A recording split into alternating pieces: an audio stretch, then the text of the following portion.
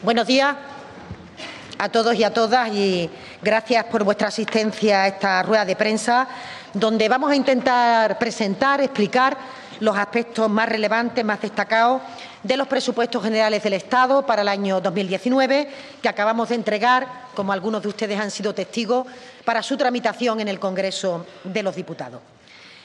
Me acompañan en esta mesa la subsecretaria de Estado de, Hacienda, Pilar Paneque, y las secretarias de Estado de Presupuestos y Gastos, eh, María José Gualda, y la secretaria de Estado de Hacienda, Inés Bardón. Mujeres a las que quiero agradecer especialmente la intensa tarea que han desarrollado conjuntamente con sus equipos para poder llegar al día de hoy con los deberes hechos. Habitualmente el formato de esta rueda de prensa eh, eh, se distribuía en las distintas exposiciones de departamento, pero si les parece, y creo que les han entregado ya el libro amarillo y espero que, tengan la, la documentación, con ánimo de agilizar en la medida de lo posible la presentación para dar más lugar a las preguntas, les trasladaré las grandes líneas y cifras de los presupuestos y quedaremos a su disposición para cualquier cuestión que se suscite. Por tanto, creo que entre la documentación entregada y la información que tendrán desde ya, accesible eh, a través de la página web, creo que tendrán todos los datos que permitirán facilitar su trabajo. Bien, como saben ustedes, hemos elaborado este proyecto de presupuesto con el que buscábamos un triple objetivo. En primer lugar, proteger el crecimiento económico, reorientándolo, dirigiéndolo hacia un desarrollo más inteligente, más robusto, sostenible e inclusivo. En segundo lugar, fortalecer las políticas sociales después de una década en la que se ha retrocedido en este país en derechos y libertades y, en consecuencia, se ha producido un incremento de la desigualdad. Redistribuir la riqueza para que los beneficios de ese crecimiento económico puedan llegar al conjunto de la sociedad y especialmente a la clase media y a las personas más vulnerables. En tercer lugar, continuar con la, reducción del déficit y la deuda pública, cumpliendo con el compromiso de nuestro socio europeo y garantizando la estabilidad y la sostenibilidad de las cuentas en el presente y, sobre todo, para el futuro.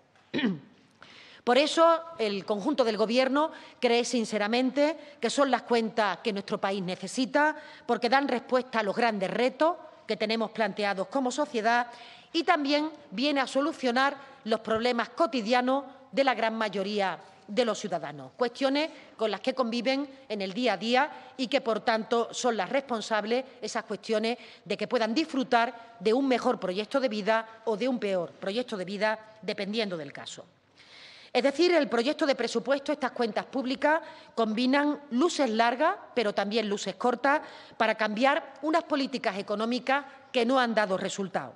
Les recuerdo que las políticas del anterior Gobierno no han servido para que España saliera del procedimiento de déficit excesivo, ni tampoco para reducir el volumen de deuda pública, ni para que nuestro país ganara competitividad en sectores estratégicos fundamentales de nuestra economía ni mucho menos han servido esas políticas para garantizar la cohesión social y la cohesión territorial, como es obvio, por citar solo algunos aspectos. Todos estos desequilibrios han terminado generando una enorme desafección de, la ciudadanía por la política, que ha visto como la crisis económica dinamitaba, yo diría, el pacto social del que se dotó este país y eh, ese pacto intergeneracional que permitía que todos fuéramos responsables de nuestro presente, pero también de nuestro futuro. Y, por tanto, esa aspiración legítima que ha tenido siempre este país de que las generaciones que vienen vivan mejor que las que le han precedido. En definitiva, que los hijos vivan mejor que sus padres. Todas estas cuestiones eh, han sido importantes en el debate cotidiano de la mayoría de los hogares españoles, pero además había una preocupación añadida, como es el que se han difuminado esos colchones de seguridad en relación a la posibilidad de tener un trabajo estable que proporcionara ingresos suficientes, por tanto, que alguien con un empleo no tuviera una condición de precariedad tal que le impidiera llegar a mediado de mes, o personas que tuvieran pensiones dignas, que permitieran vivir eh, los últimos años de su vida sin preocupación o que los servicios públicos, y quizás este elemento eh, esencial, eh, sirvieran realmente como una red de amortiguación cuando sobreviene una enfermedad o cuando tenemos una situación de dependencia. Por eso, estos presupuestos generales del Estado son un punto de inflexión, un cambio de rumbo necesario para recuperar esa confianza de los ciudadanos en la utilidad de la política a través de medidas concretas que verán en las cifras favorecedoras de la cohesión, la justicia social, la redistribución de la riqueza o la modernización de nuestra economía. Hoy presentamos en el Congreso unos presupuestos que apuestan decididamente por fortalecer el estado del bienestar frente a quienes buscan debilitarlo. Unas cuentas públicas que defienden la igualdad frente a quienes quieren retrotraernos a épocas oscuras de nuestro pasado. Unos presupuestos que abogan por la justicia social y llevan la recuperación económica a los colectivos más castigados durante la crisis frente a quienes se han olvidado de ello con su recetario de austeridad.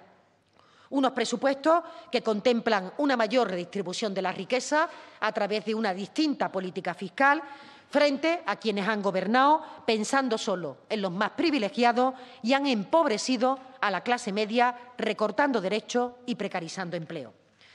Por eso, antes de entrar a detallar las principales iniciativas recogidas en estas cuentas públicas, creo que es importante contextualizar el lugar económico internacional y nacional en el que se presentan estas cifras.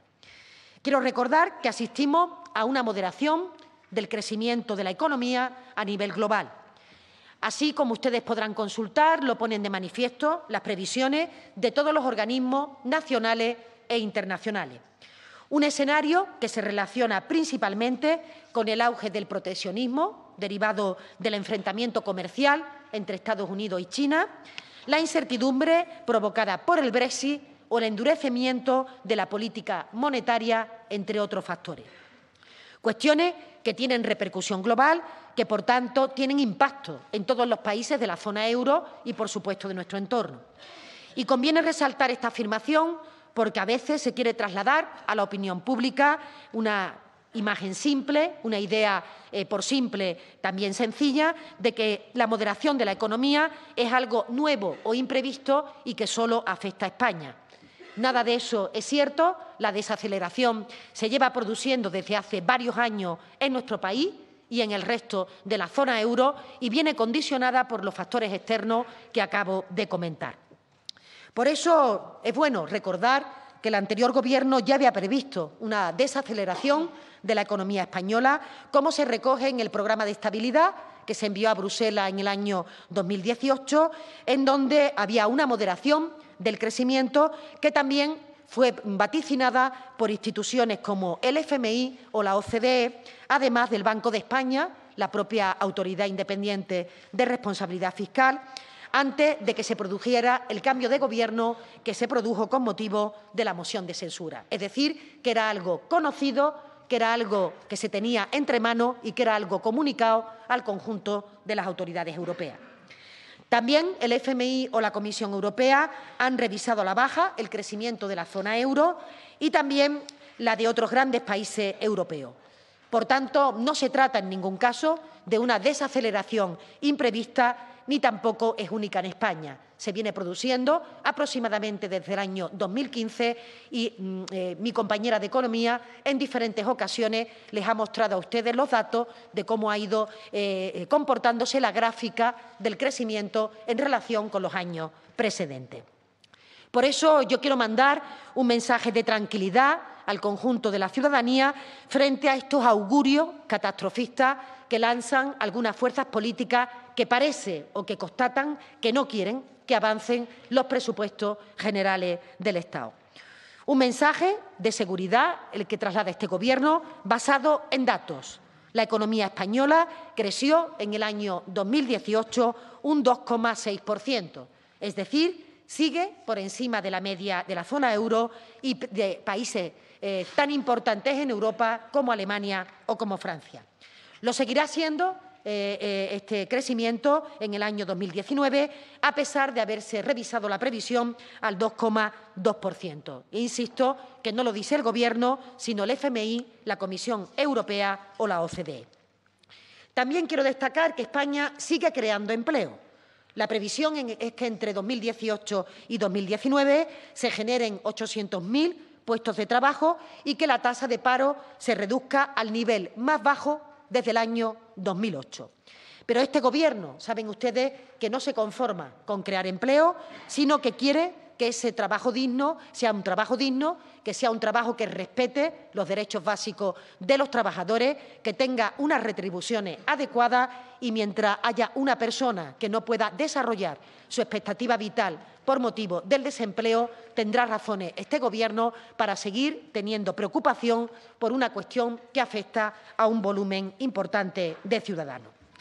Por tanto, no vamos a aceptar ni compartimos el concepto de trabajador pobre que, eh, eh, que ha guiado la política de empleo practicada en los últimos años, porque este Gobierno pisa la calle y es muy consciente del abuso de los contratos temporales, de los falsos autónomos, de la existencia de un precariado que parece resignado a no aspirar o no poder tener un sueldo decente.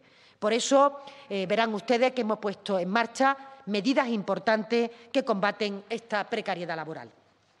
El año pasado se crearon 563.965 empleos, lo que supuso un crecimiento del 3%, lo que permitió, a su vez, alcanzar 19 millones de afiliados.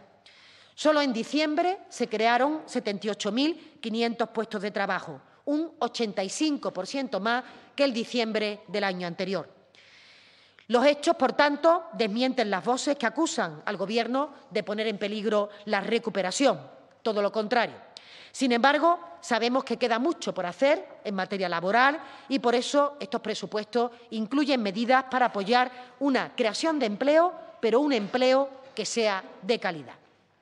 En este contexto económico, el Gobierno lo que ha hecho en estos siete meses es asumir su responsabilidad presentando unos presupuestos realistas acorde con la evolución económica, algo que se ha logrado a pesar de la irresponsabilidad del Partido Popular y de Ciudadanos, que han puesto los intereses partidistas por encima, por delante de los intereses de los españoles.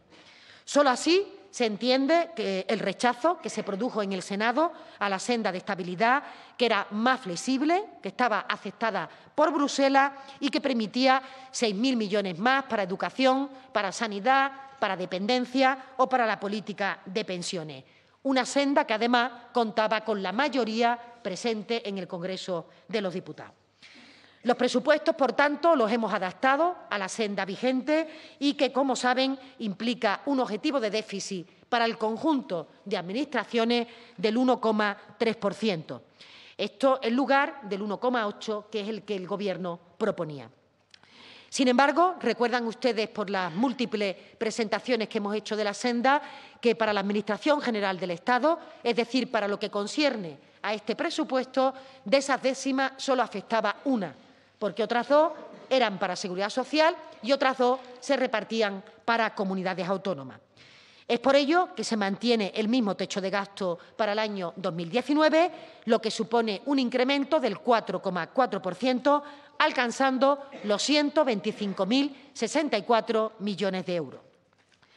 Algunos de ustedes que están aquí sentados, yo creo que llevan años eh, atendiendo o escuchando este tipo de presentaciones y saben que hay distintas formas de leer un presupuesto.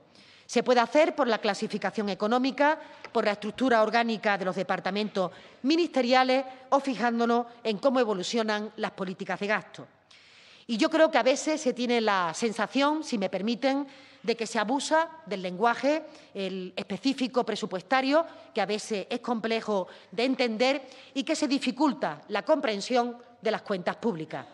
Por eso, mm, este equipo quiere hacer un esfuerzo por intentar mm, eh, eh, eh, desgranar cada uno de esos conceptos para poder llevar al ánimo de la ciudadanía el criterio que cada persona tenga al objeto de que pueda evaluar por sí misma cómo se comportan los presupuestos y si realmente atienden sus expectativas. Es de ahí que les voy a proponer otra forma de aproximarnos a la lectura del presupuesto, trascendiendo las clasificaciones clásicas, que la tienen en los documentos entregados y también la tendrán en la propia, en la propia página web, y ver qué hay detrás de los números, que se persigue detrás de cada una de esas cuentas, en definitiva, qué personas están detrás de los presupuestos que puedan iniciar su trámite parlamentario en el día de hoy. Al fin y al cabo, eh, las cuentas públicas no son más que una herramienta, un instrumento adicional eh, para serle útil a la mayoría de la ciudadanía. Consiste en gestionar los ingresos y los gastos para mejorar el bienestar y para sentar la base de que las futuras generaciones puedan, como decía al principio, tener un mundo mejor. Por eso, como decía, este Gobierno eh, llegó al Ejecutivo y, como decía, esta era la intención y la vocación que hemos practicado desde el primer día. Este presupuesto lo podemos mirar con esa perspectiva de ver lo que hay detrás de los números. Y por eso me gustaría citar a los colectivos que resultan beneficiarios de estas medidas, como son la clase media, los jóvenes, los mayores o las mujeres. Empezando por el primero, por la clase media, eh, yo diría que durante el tiempo más intensivo de la crisis, la clase media de este país tuvo que soportar a sus espaldas importantes esfuerzos y vio cómo se precarizaba su modo de vida. Los gastos que antes eran habituales en una clase media, relacionados con la cultura, con las vacaciones, con el ocio, se tenían que destinar a cuestiones más básicas como la alimentación, pagar la hipoteca o el recibo de la luz mientras que las clases más ricas apenas notaron la incidencia de la crisis. Se trata, en este sentido, de si se tiene más o menos volumen de beneficio. La clase media realmente menguó en su base más amplia, retrocedió en ese escalón. En algunas ocasiones, sobre todo la clase media que estaba en rentas más bajas, se empobreció y la clase media que estaba en renta más alta tuvo que eliminar gran parte de su consumo porque vio reducidas sus retribuciones o sus expectativas para el futuro. Dicho de otra manera, se bajó un peldaño en la escala social y se afectó de forma general a todas las franjas de edad, pero quizá de forma más acusada al grupo de personas menores de 30 años, personas cuyas esperanzas y cuyas expectativas se han visto perjudicadas por unas políticas que parecía que no les tenían en cuenta. Los presupuestos quieren revertir ese retroceso porque necesitamos una clase media fuerte y robusta como base de la estabilidad social y del progreso económico. Un país más equilibrado socialmente necesita de manera imprescindible eh, tener un crecimiento sólido y para eso es fundamental incentivar la demanda interna e incentivar la productividad, elementos cuyos motores principales son justamente este colectivo. Para ello, el presupuesto contempla una batería de medidas dirigidas a estas personas, en primer lugar, a través de la protección fiscal, en donde no se le suben los impuestos a las personas, a la ciudadanía perteneciente a la clase media, y, en segundo lugar, en forma de liberación de renta disponible por la mejora que se experimenta en la mejor financiación de los servicios públicos. Dicho de otra manera, Cualquier persona que tenga que necesitar eh, ser atendida sanitariamente o cuyos hijos o nietos tengan que acudir a un centro educativo, tienen que encontrar en el sistema público un sistema de excelencia que permita que sea su expectativa la que se colme con motivo de esa asistencia.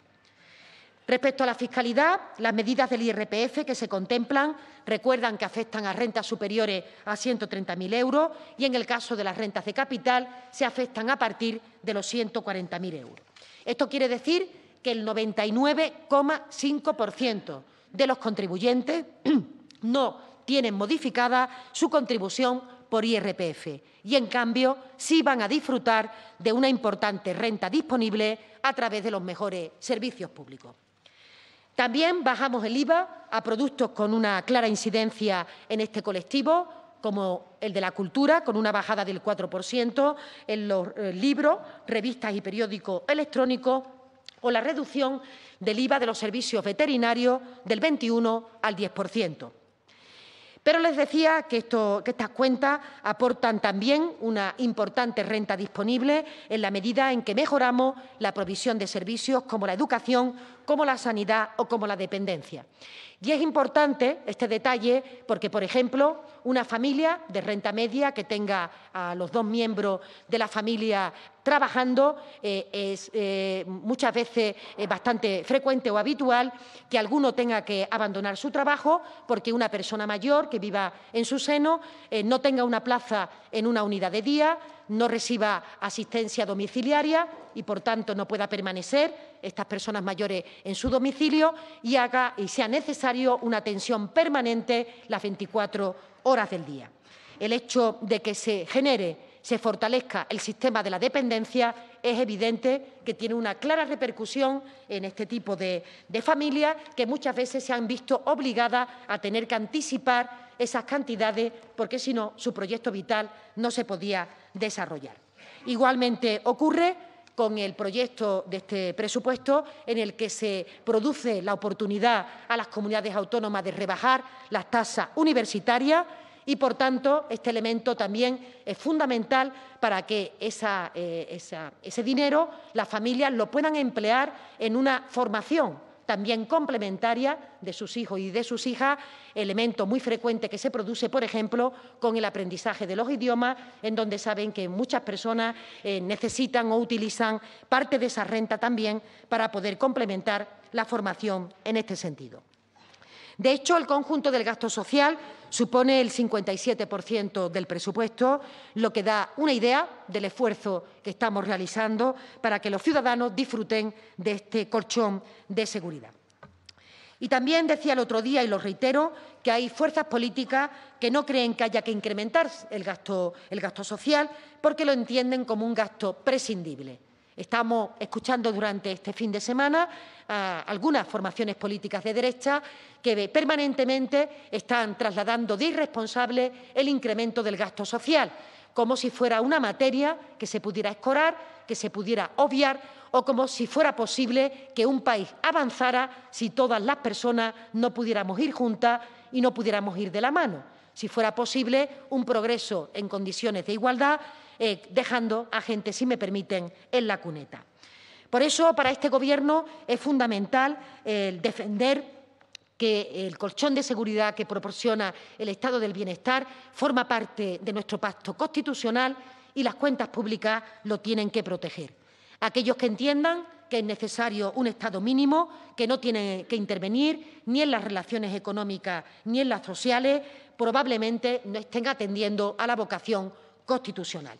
Para nosotros eh, es vital reconocer el papel estratégico de este gasto social, porque no solamente es una eh, partida puramente asistencial, sino que se convierte en inversión productiva, es un factor de competitividad y también de desarrollo social. Y defendemos lo público porque solo lo público es garantía de igualdad. Por ello hemos reforzado las partidas destinadas a sanidad, a educación y a dependencia, pero también las que tienen que ver con la vivienda o la conciliación de la vida familiar y laboral. En este último apartado quiero destacar el permiso de paternidad de cinco a ocho semanas que persigue el doble objetivo, no solo la conciliación, como acabo de comentar, sino también conseguir una igualdad efectiva, que las mujeres no se vean penalizadas en el mercado laboral ante el temor por parte de los empresarios del disfrute de la baja de maternidad, como algunas de nosotras eh, somos conscientes por nuestra eh, eh, trayectoria personal. En esta misma línea también se encuentra la medida, los primeros pasos, para universalizar la escuela infantil de cero a tres años. Insisto en que son medidas que no solo persiguen esa conciliación, sino que esta última también nos permitirá que nuestros jóvenes empiecen la preparación más tempranamente, porque aquellos países que tienen universalizada esta etapa escolar tienen una, mayor eh, capacidad de integración de sus miembros en el mercado laboral, por tanto, una mayor competitividad, una mayor inversión en capital humano y, por tanto, mayores probabilidades de que se inserten, como decía, con éxito dentro del mercado laboral. Finalmente, para los empleados públicos, que son eh, puramente clase media, contamos con una subida general retributiva del 2,25% y un incremento variable que se derivará del cumplimiento del PIB. Continuaremos también con la equiparación salarial de la Policía y la Guardia Civil, siguiendo la senda que se había iniciado en los presupuestos 2018 y se generarán ofertas de empleo que se derivan de la aplicación de la tasa de reposición al 100%, incluyendo una tasa adicional del 8% en ámbitos que requieren un esfuerzo de efectivo. Me gustaría destacarles, por otro, lado, otras dos importantes novedades que se incluyen en la Ley de Presupuestos y que reflejan, en mi opinión, la especial sensibilidad que tiene este Gobierno en referencia a los cambios que hay que defender o que hay que impulsar para avanzar hacia una sociedad en igualdad y también de protección de la infancia. Respecto al primero, creo que tuve oportunidad de trasladarlo en mi comparecencia en el Congreso a propósito de las líneas generales del Ministerio de Hacienda. Eh, eh, queríamos impulsar, y así lo contemplamos, una potente política de género transversal que diseñen política con impacto positivo en la corrección de desequilibrio. Lo hacemos por una doble convicción, la de justicia social, que es muy importante, pero también porque la integración de la mujer es un elemento fundamental en el desarrollo de una economía más dinámica y competitiva. Organismos como el FMI, la OCDE o la Unión Europea eh, invitan a desarrollar esta tarea para que la economía pueda incrementar su potencial de crecimiento. Por tanto, si seguimos esta directrices, se podría producir un aumento del PIB de aquí a 2025 en aproximadamente 2,5 puntos si logramos disminuir esa brecha eh, de género que existe hoy por hoy en nuestra sociedad. Creo que existen numerosos condicionantes económicos y sociales que influyen en el mantenimiento de esta desigualdad y que se expresa de forma muy clara en esa brecha salarial y también en las peores condiciones laborales o contratos temporales, ausencia en los puestos directivos y la tendencia a encargar a las mujeres de los cuidados familiares, de las tareas domésticas, en definitiva, de los roles tradicionales que ha tenido en la sociedad. Por eso, eh, eh, hay un gran paquete de medidas que se dirigen a corregir estos desequilibrios, avanzando por esta doble vía. En la parte del gasto, a partir de un incremento importante de las partidas eh, y desde el análisis del impacto de género, alcanzando al 80% de las políticas, si me permiten la expresión, colocándonos la gafas violetas para ser capaces de ver en cada uno de los números cómo se está comportando esa perspectiva de igualdad o esa perspectiva de género en lo que eh, consiste en los programas de gasto. Hemos intentado ver si hay algunos que eh, eh, son los que aportan más a esos obstáculos entre hombres y mujeres y, por tanto, hemos incrementado la partida en un 10% para permitir que haya una mayor capacidad de que todas las administraciones, básicamente los ayuntamientos, logren, sean capaces de atender a aquellas personas que tienen dudas inseguridades o que tienen miedo a realmente recibir un acompañamiento para poder salir de la situación de terror que en algunos casos viven. También, por otro, de, otra parte, se crea la Comisión Interministerial de Presupuestación con Perspectiva de Género para avanzar en esta metodología después de experiencias que hay en España interesantes en algunas comunidades autónomas donde realmente se ha avanzado mucho eh, metodológicamente para tener una visión más amplia de cómo se contemplan esos números. En el lado de los ingresos, todas las políticas fiscales impacta de manera distinta en hombres y mujeres y también se ha establecido, eh, digamos, un estudio para ver si efectivamente se puede contribuir en mayor medida a superar esa desigualdad. Hemos empezado con la reducción del IVA en los productos de primera necesidad, pasando del 10 al 4%, y eh, seguiremos con algunas medidas que se contemplan en ese proyecto de presupuesto y que irán ustedes conociendo a lo largo de los próximos días y que irán viendo también en la propia documentación, para no tener ánimo de ser absolutamente exhaustivo. Les puedo asegurar que los presupuestos que presentamos son eh, unos presupuestos que persiguen esta igualdad, son unas cuentas feministas comprometidas con la igualdad y con los derechos de hombres y mujeres. Por otra parte, eh, hay algunas alguna partidas adicionales que nos parece fundamental el poner en valor en relación con el segundo apartado, como es el apartado de la infancia. En concreto, es otro de los colectivos que se han priorizado en estos presupuestos, incluyendo el informe por primera vez de impacto de, eh, los programas en la política de los niños y de las niñas de este país y también siguiendo el marco de la Convención sobre Derechos de la Infancia de Naciones Unidas que abunda en esta materia. Los poderes públicos, yo diría que el conjunto de la sociedad, tenemos la obligación de proteger de forma especial a los niños y a las niñas de nuestro país y de planificar medidas que ayuden a combatir situaciones de exclusión la más importante, la de pobreza, de carencia alimentaria o de abandono escolar.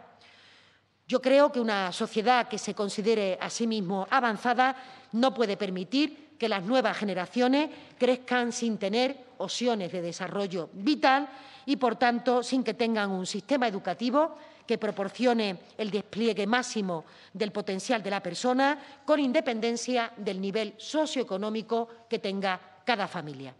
Por eso hemos incorporado medidas expresas para proteger a este colectivo de menores. El nuevo ingreso mínimo vital para combatir la pobreza infantil, que conocerán ustedes con detalle a continuación, más ayuda para los comedores escolares o para las familias en riesgo de exclusión social, políticas para menores extranjeros no acompañados o la eh, ayuda eh, al doble de, la, eh, la familia para el material escolar que tienen que adquirir a principio de curso. Tendremos, como digo, ocasión de desgranar un poco más adelante cada una de estas partidas. Igualmente decía que en relación con los jóvenes tenemos que proporcionar garantías de prosperidad a una generación que ha creído e incluso que vive con la desesperanza de que la precariedad tiene que ser su forma de vida y su forma de trabajo. Me estoy refiriendo a todos aquellos jóvenes que han vivido, que han crecido durante la crisis, personas con talento, yo diría que son la generación más preparada de nuestra democracia y que se han visto obligados en algunas ocasiones a aceptar un trabajo precario y en otras ocasiones a abandonar eh, nuestro país, a ir a otros lugares que le ofrecía mejores expectativas de empleo y que, por tanto, no han aportado eh, su potencial al crecimiento de, nuestra economía y, por otro lado, las familias esperan cada año que se produzcan mejoras económicas que permitan que sus hijos o que sus hijas vuelvan a casa. Por eso, eh, tenemos que recuperar el derecho de, estas generaciones de jóvenes y para ello se ponen en marcha algunos programas que nos permiten eh, eh, mejorar esta situación. Desde la subida del salario mínimo interprofesional, que afecta de forma expresa a los trabajadores jóvenes, eh, como ya se ha comentado en algunas ocasiones, hasta eh, ser capaces de poner en marcha eh, un plan de empleo juvenil que se dota con 670 millones de euros y, también políticas de acceso a la vivienda al objeto de que estas personas puedan emanciparse con 137 millones que se pone a disposición de este plan de 20.000 viviendas para facilitar el alquiler en unos precios asequibles a esta población joven. Además, vamos a aumentar las partidas de beca en un 10% y también, como decía, se permite la bajada de las tasas universitarias que podrán volver a los niveles anteriores a los incrementos que se produjeron en el año 2012. En definitiva, deroga aquella norma del 12 en donde se estableció una mayor horquilla en el establecimiento de las tasas universitaria. Entrando en el apartado de mayores, yo diría que esta sociedad tiene una deuda y una responsabilidad con sus mayores. Los presupuestos dan pasos para dignificar la vida de estas personas que con su esfuerzo han contribuido al desarrollo de la España democrática y moderna que hoy algunos de nosotros podemos disfrutar. Pero además muchos de ellos se han convertido en los últimos años, en los años de crisis, en el sostén, en el soporte de su familia gracias a una pensión que en numerosas ocasiones apenas les permitía llegar a fin de mes. Los presupuestos incluyen una revalorización de todas las pensiones del 1,6% para evitar que se pierda poder adquisitivo. Además, las pensiones mínimas y las no contributivas subirán un 3% y las pensiones de viudedad aumentarán cuatro puntos la base reguladora, lo que en la práctica implica un incremento aproximado de un 7%. Quiero destacar otra medida que también dignificará la vida de los mayores más vulnerables, como es la supresión del copago farmacéutico para aquellos pensionistas que cobran menos de 11.200 euros al mes. Una medida que también se extiende a las personas perceptoras de la prestación económica de la seguridad social por hijo o menor a cargo, es decir, aquellas familias que cumplen con los requisitos para recibir esta prestación. Los presupuestos se ocupan, en este mismo apartado, de, de, una política tan importante para nuestras personas mayores como es el sistema de dependencia que produjo la crisis años de abandono, porque la partida para, este, eh, esta política eh, experimenta un crecimiento del 59,3%. Quizás lo importante, aunque es llamativa, no es la cifra en sí misma, sino que ese aumento significa la mejora en la atención de miles de personas.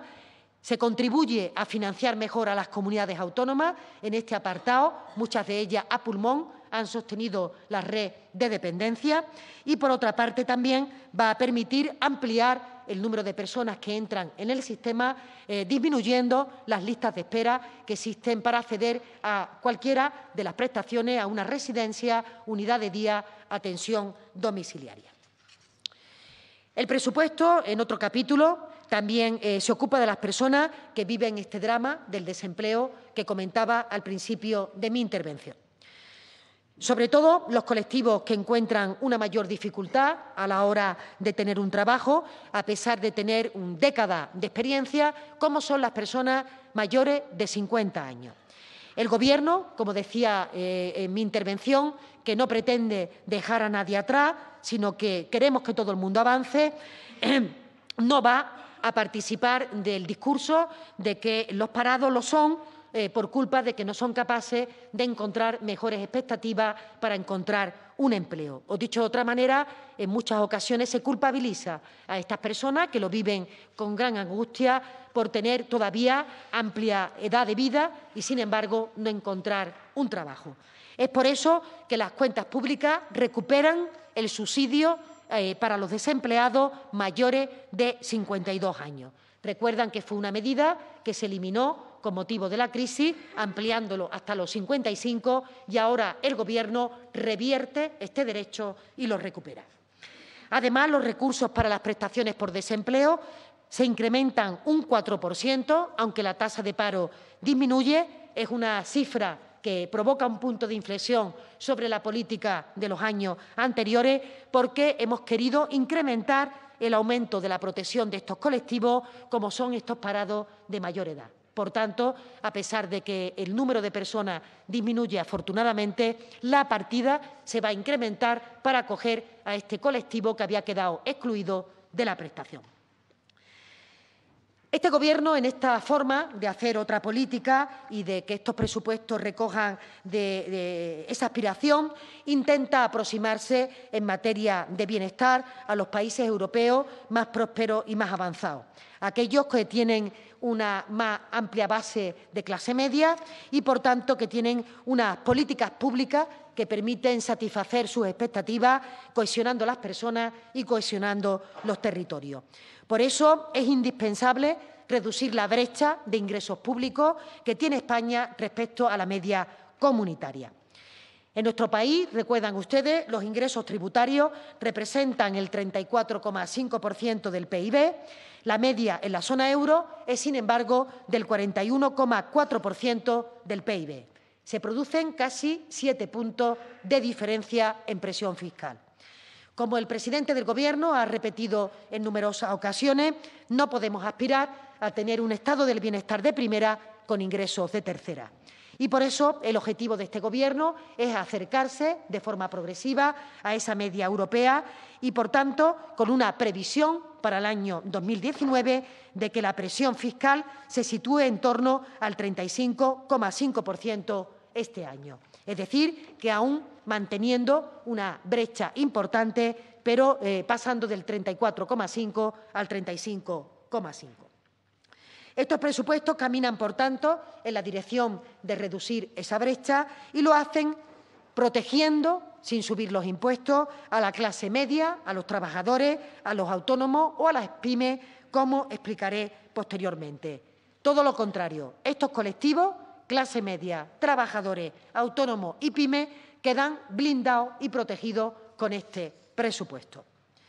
La recaudación fiscal, de hecho, para el año 2018 asciende a 207.610 millones, algo inferior eh, perdió eh, a 217.610 millones. Y, como hemos dicho en algunas ocasiones, tan importante es ver cómo se comportan los ingresos como la manera que tengamos de distribuirlo. O dicho de otra manera, si efectivamente la parte fiscal cumple con su función constitucional de que realmente se redistribuya la riqueza entre todos aquellos que son perceptores de las políticas.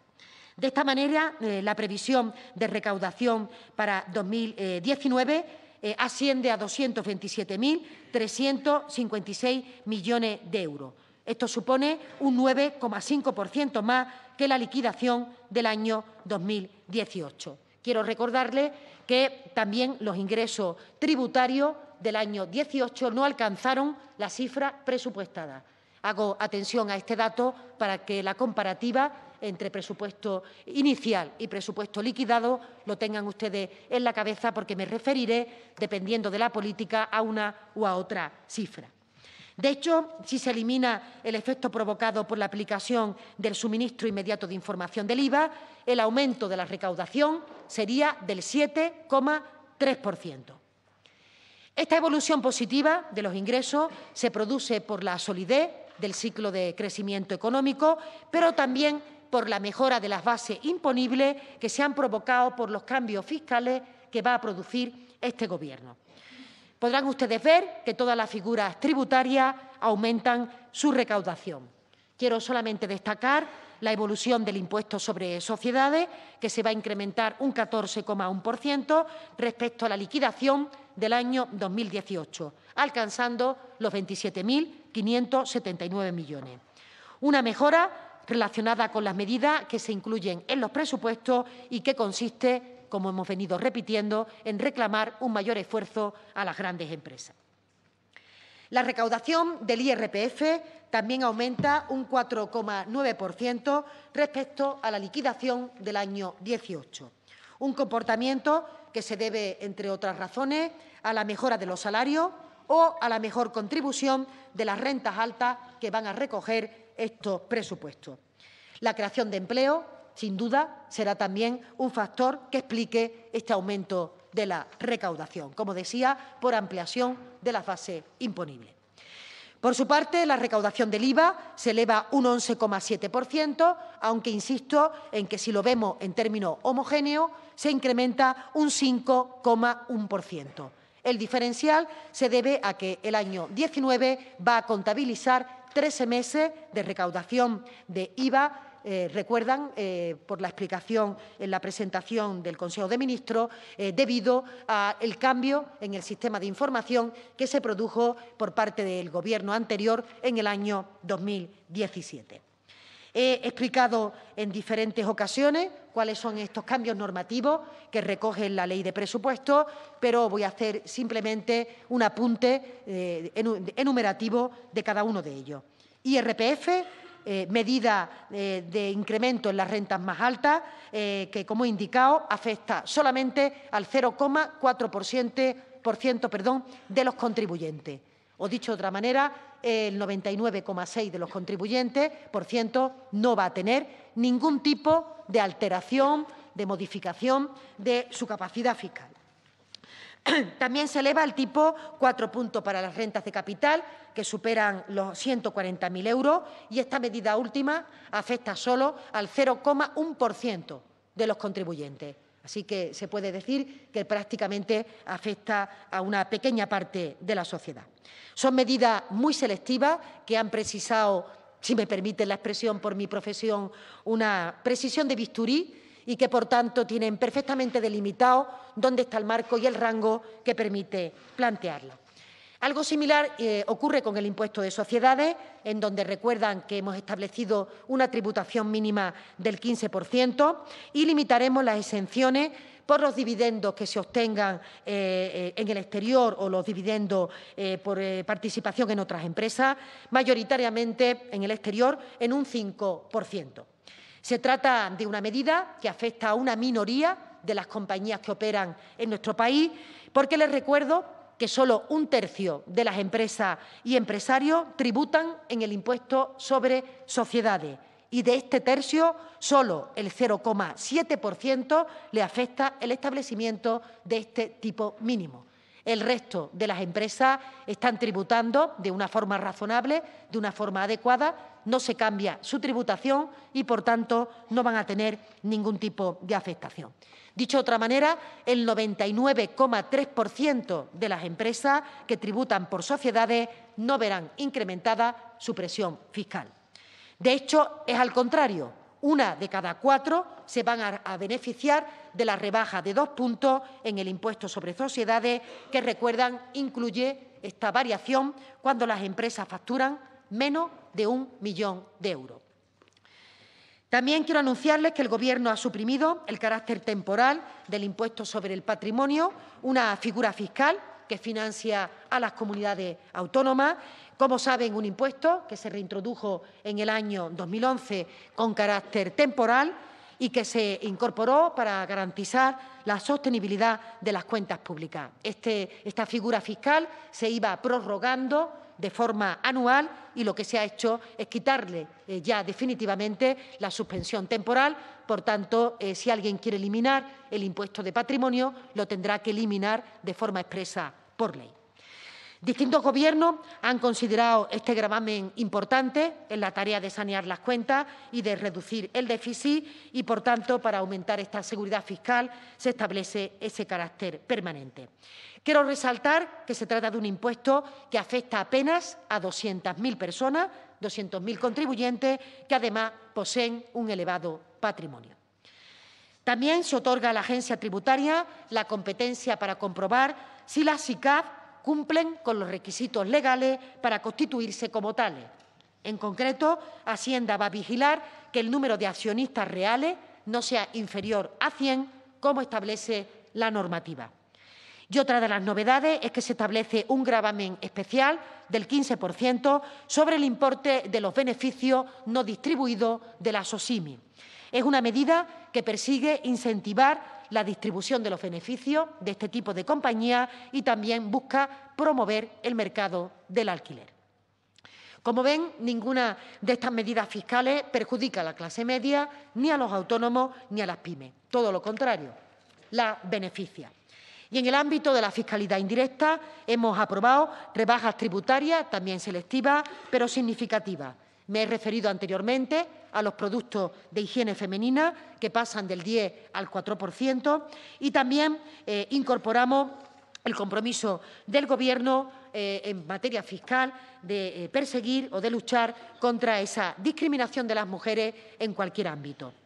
El IVA de los servicios veterinarios se reduce del 21 al 10%. Espero que ello también promueva la protección y la sanidad animal, que es un elemento propio de las sociedades avanzadas.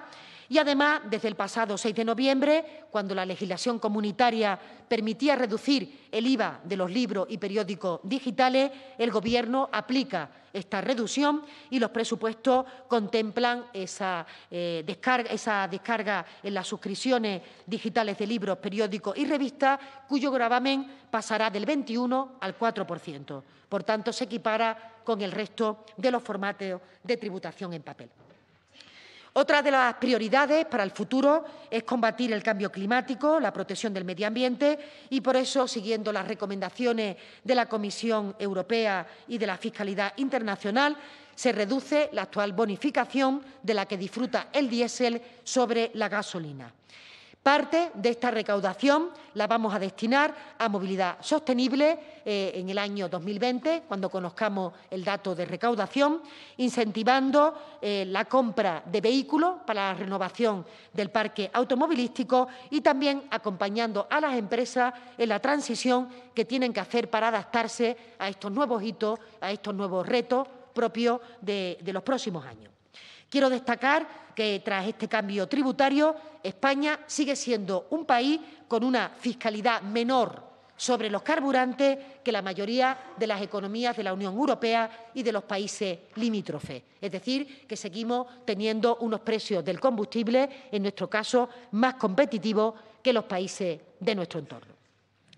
Todos ellos se tramitan, eh, como digo, en la propia ley de presupuestos, eh, menos el impuesto de transacciones financieras y de servicios digitales, que recuerda que no están en el proyecto de ley porque se contemplan en leyes eh, expresas, puesto que no pueden ir por materia fiscal, no pueden los, los, impuestos de nuevo cuño registrarse por primera vez en los presupuestos generales, sino que necesitan una ley propia de creación y de desarrollo que les puedo decir que, si todo va según lo previsto, se aprobarán por el Consejo de Ministros este próximo viernes. También aprobaremos el proyecto de ley contra el fraude fiscal en breve, que prohíbe por ley las amnistías fiscales. Eh, saben ustedes que es un elemento que va a acabar con algo que se ha producido en etapa anterior, como es que se trate mejor a los defraudadores en relación con sus obligaciones fiscales que a las personas que de forma responsable eh, hacen uso cada año de esa obligación y cumplimentan sus deberes cívicos. Estas medidas tributarias, en su conjunto, permitirán un incremento de la recaudación en torno a 5.654 millones, que se traduce en la mejora de estas políticas sociales y económicas. La política fiscal que estamos diseñando contribuye a crear una sociedad más justa e igualitaria. Cada uno aporta en función de su capacidad, recibe en función de su necesidad y por eso el gasto social del presupuesto representa el 57% de los presupuestos consolidados. Pero no todos los capítulos del presupuesto suben.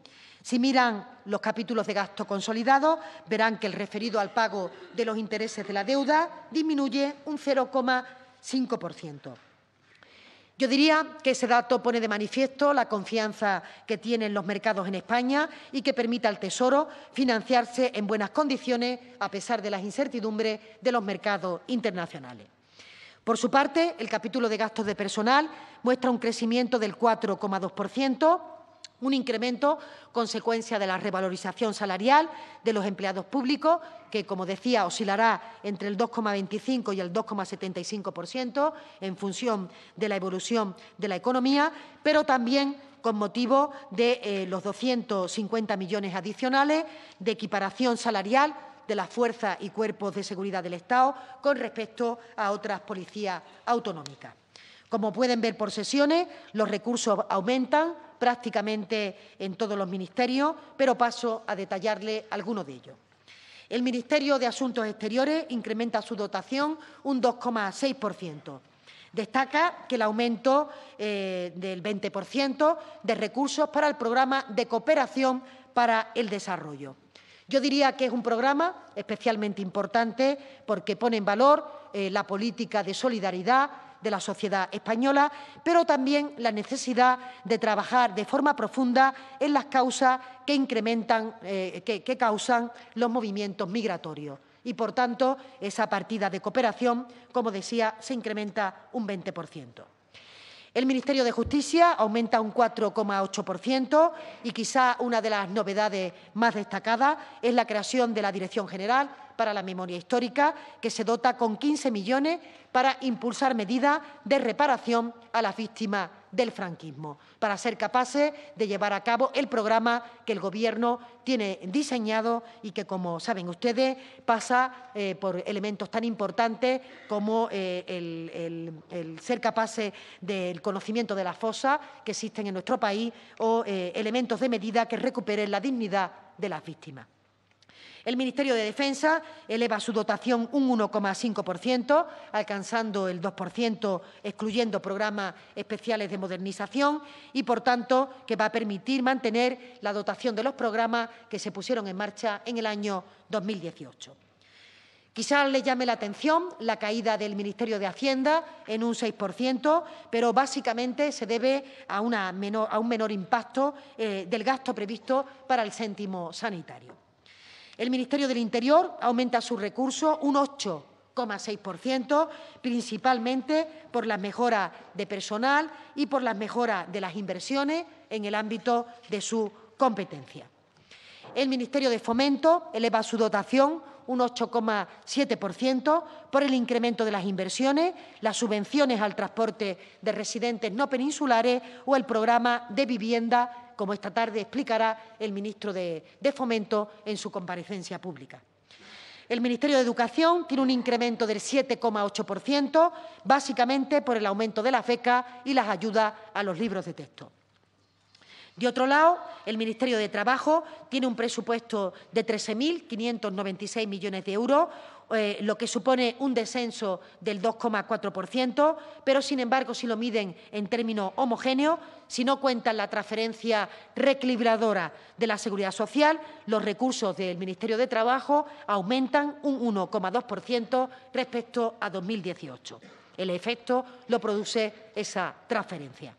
Asimismo, en este Ministerio, los créditos para financiar las políticas de fomento del empleo se elevan a 5.985 millones, lo cual implica un, crecimiento del 4,7%. En esta partida fundamental la formación profesional para el empleo, eh, la orientación profesional o el fomento de la igualdad de oportunidades para el empleo. El Ministerio de Agricultura, Pesca y Alimentación aumenta en 53 millones su dotación para 2019. Esto significa un 5,9% más, fundamentalmente eh, por mor de eh, agroalimentación, que dispondrá en 2019 de créditos por importe de 122 millones de euros. El Ministerio de Industria se incrementa en un 3,6%, entre sus objetivos prioritarios, reindustrialización de la economía mediante el programa de apoyo a la inversión industrial productiva, para el que se destinan 818 millones en 2019. El Ministerio de Política Territorial tiene un fuerte incremento, un 16,1%, destacando la creación de la Oficina contra la Despoblación, un problema acuciante en muchas zonas de nuestro país y de urgente atención. El Ministerio de Presidencia aumenta su presupuesto un 11,5%, fundamentalmente derivado de las políticas que se destinan al Pacto de Estado de Violencia de Género. El Ministerio de Sanidad aumenta su dotación un 40,9%, fundamentalmente por el incremento de los recursos de dependencia y también por la mayor dotación de la partida destinada a los menores extranjeros no acompañados. Ministerio de Ciencia aumenta en un 6,4% por el incremento de las partidas de I I, sobre las que me detendré un poco más adelante. Si observan ahora ustedes el presupuesto por políticas de gasto, la principal partida es la que se destina a pensiones públicas, que en 2019 asciende a 153.864 millones de euros. Esto supone un crecimiento del 6,2% respecto a 2018. Se trata de la mayor dotación de la serie histórica. Parte del aumento se debe a la revalorización de las pensiones, 1,6, recuerden, todas, 3% mínima y no contributiva, pero también eh, eh, se debe al incremento de las personas que se incorporan a la pensión. De estas medidas se beneficiarán más de 9,5 millones de pensionistas que además traen una base de cotización más amplia, afortunadamente, de la que traían tradicionalmente los pensionistas. Este es un elemento que se va observando de forma progresiva y que también podrán ustedes eh, tener más detalle cuando el secretario de Estado de Presupuestos presente también estas cuentas públicas. Incorpora la elevación en cuatro puntos del tipo aplicable, como decía, a la base reguladora del cálculo de la pensión de viudedad, cuyo porcentaje se va a situar en un 60%. Esto beneficia a medio millón de mujeres básicamente porque la esperanza de vida es más prolongada en mujeres que en hombres y habitualmente son ellas las que se quedan viudas, eh, que estas personas, estas mujeres, verán como su pensión se incrementa un 7%. Decía que se eliminaba el copago farmacéutico a pensionistas. Esta medida beneficiará a más de 6,8 millones de personas. Y en relación con la partida de dependencia, esta política eh, experimenta un crecimiento del 59,3%. En concreto, eh, cuenta con 831 millones de euros, lo que permite alcanzar la mayor eh, partida registrada en atención a la dependencia desde que se creó este cuarto pilar o quinto pilar del Estado del Bienestar. asciende su dotación a 2.232 millones de euros. Además, las cuentas recuperan la financiación de las cuotas sociales de las cuidadoras no profesionales, eh, de las personas en situación de dependencia, con 315 millones de euros que se destinan a este fin. Para las familias en situación de pobreza, aquellas cuya renta es inferior al 50% de la considerada como umbral de pobreza, la prestación se incrementa desde los 291 euros hasta los 341 euros. Eh, Sin embargo, para la familia en situación de pobreza severa, esto significa cuando la renta anual es inferior al 25% del umbral de la pobreza, la prestación por hijo a cargo se eleva hasta los 588 euros eh, para la familia. Esto significa eh, duplicar el, importe de esta prestación en aquellos colectivos que, se están incorporados a los términos de pobreza severa. Para ello, en la ley se recoge eh, este concepto y se recoge también la diferenciación dentro del ingreso mínimo vital entre aquellas familias que tienen un nivel de renta y aquellas que tienen esta situación de pobreza severa. Esta nueva prestación va a permitir reducir la pobreza infantil un 12%, sacando de esta situación a cerca de 82.000 menores. Es, por tanto, una política extraordinariamente importante para nuestro país. Y lo dije el viernes e insisto en ello ya un poco rápidamente, los presupuestos contemplan la mayor partida de la historia en pensiones, en dependencia, en becas y en lucha contra la violencia de género y la pobreza infantil. Es un hecho objetivo que pueden ustedes comprobar. En todas estas partidas se alcanzan las cifras presupuestarias más altas de la historia y, por tanto, consolidando eh, las políticas de protección que van detrás de todos estos colectivos. Decía al inicio de mi intervención que los presupuestos están volcados en fortalecer a la clase media y trabajadora y dan pasos muy importantes en esta conciliación de la vida familiar y laboral, avanzando en igualdad. El objetivo del aumento del permiso de paternidad tres semanas más, alcanzando las ocho semanas, tiene un impacto económico de 825 millones que se recogen en el presupuesto. También en la universalización de la escuela entre cero a tres años se permite a los ayuntamientos emplear eh, el superávit en inversiones financieramente sostenibles que vayan dirigidas a este fin. Y también el presupuesto habilita 30 millones para aquellos ayuntamientos que no pueden emplear este superávit porque no cumplen con alguna de las reglas fiscales o porque todavía están en condiciones de, desequilibrio de sus cuentas públicas. Decía que eh, potencia que eh, se propicia el talento desde esta etapa más temprana y que se gane esa competitividad para el futuro la remisión de, perdón, la vocación del, Gobierno de, remitir los recortes que se produjeron en educación queda reflejado en las partidas de beca, eh, que eh, experimentan el mayor crecimiento desde la serie histórica, en concreto 1.620 millones para el Sistema General de Becas, un 10,2% más que el que se registró el año anterior.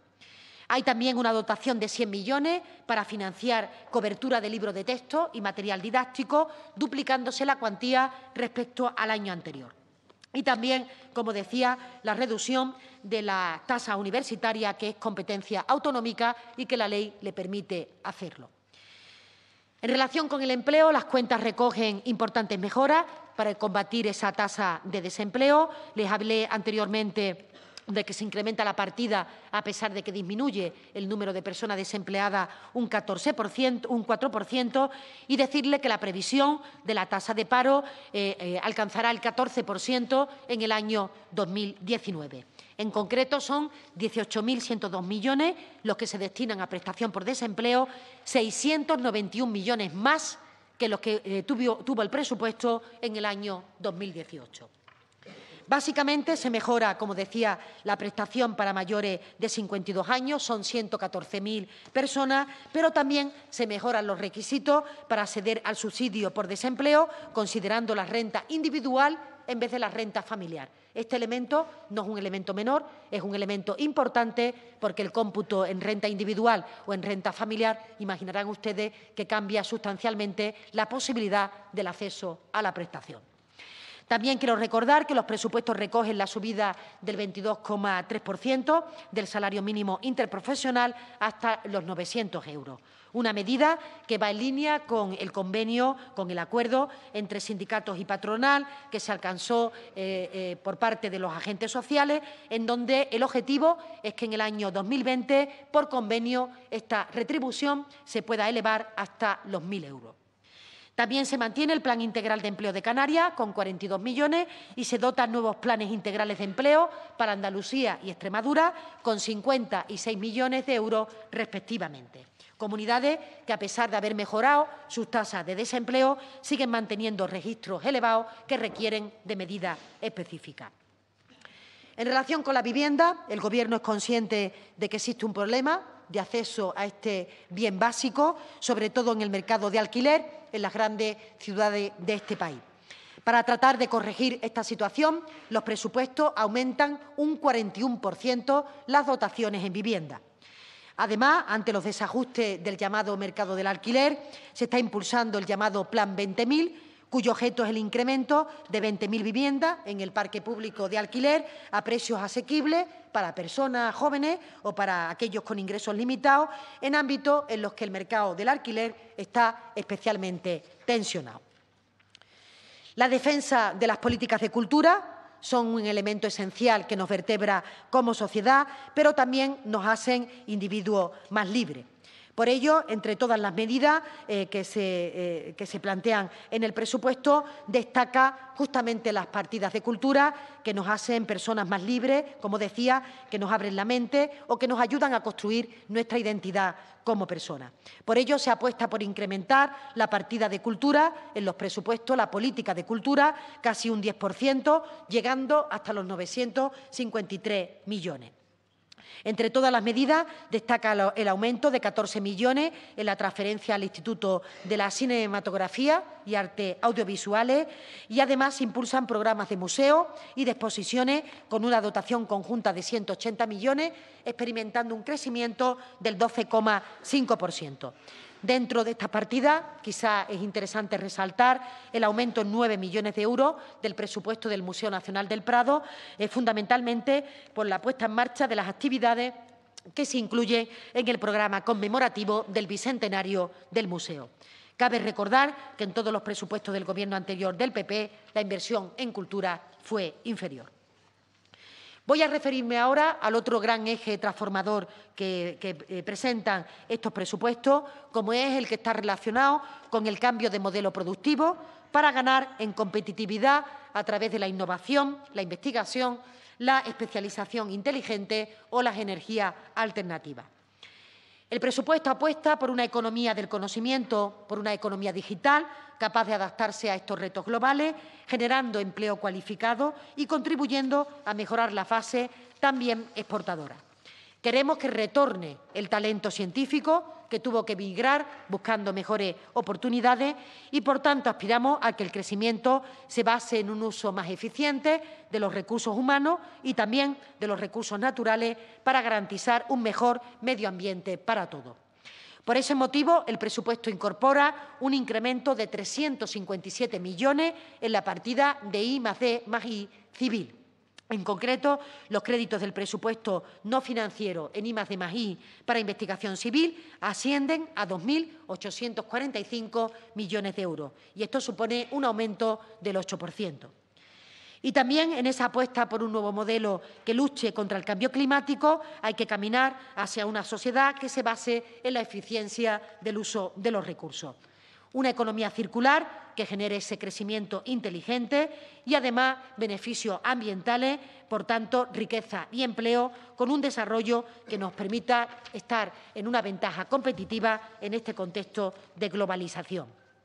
Por ello, las cuentas se dotan de, partidas que mejoran la eficiencia energética en hogares y, edificios, que mejoran la eficiencia en medios de transporte y se logra una movilidad sostenible con, con, un planteamiento de descarbonización del transporte o de las empresas, como en múltiples ocasiones ha explicado la ministra de Transición.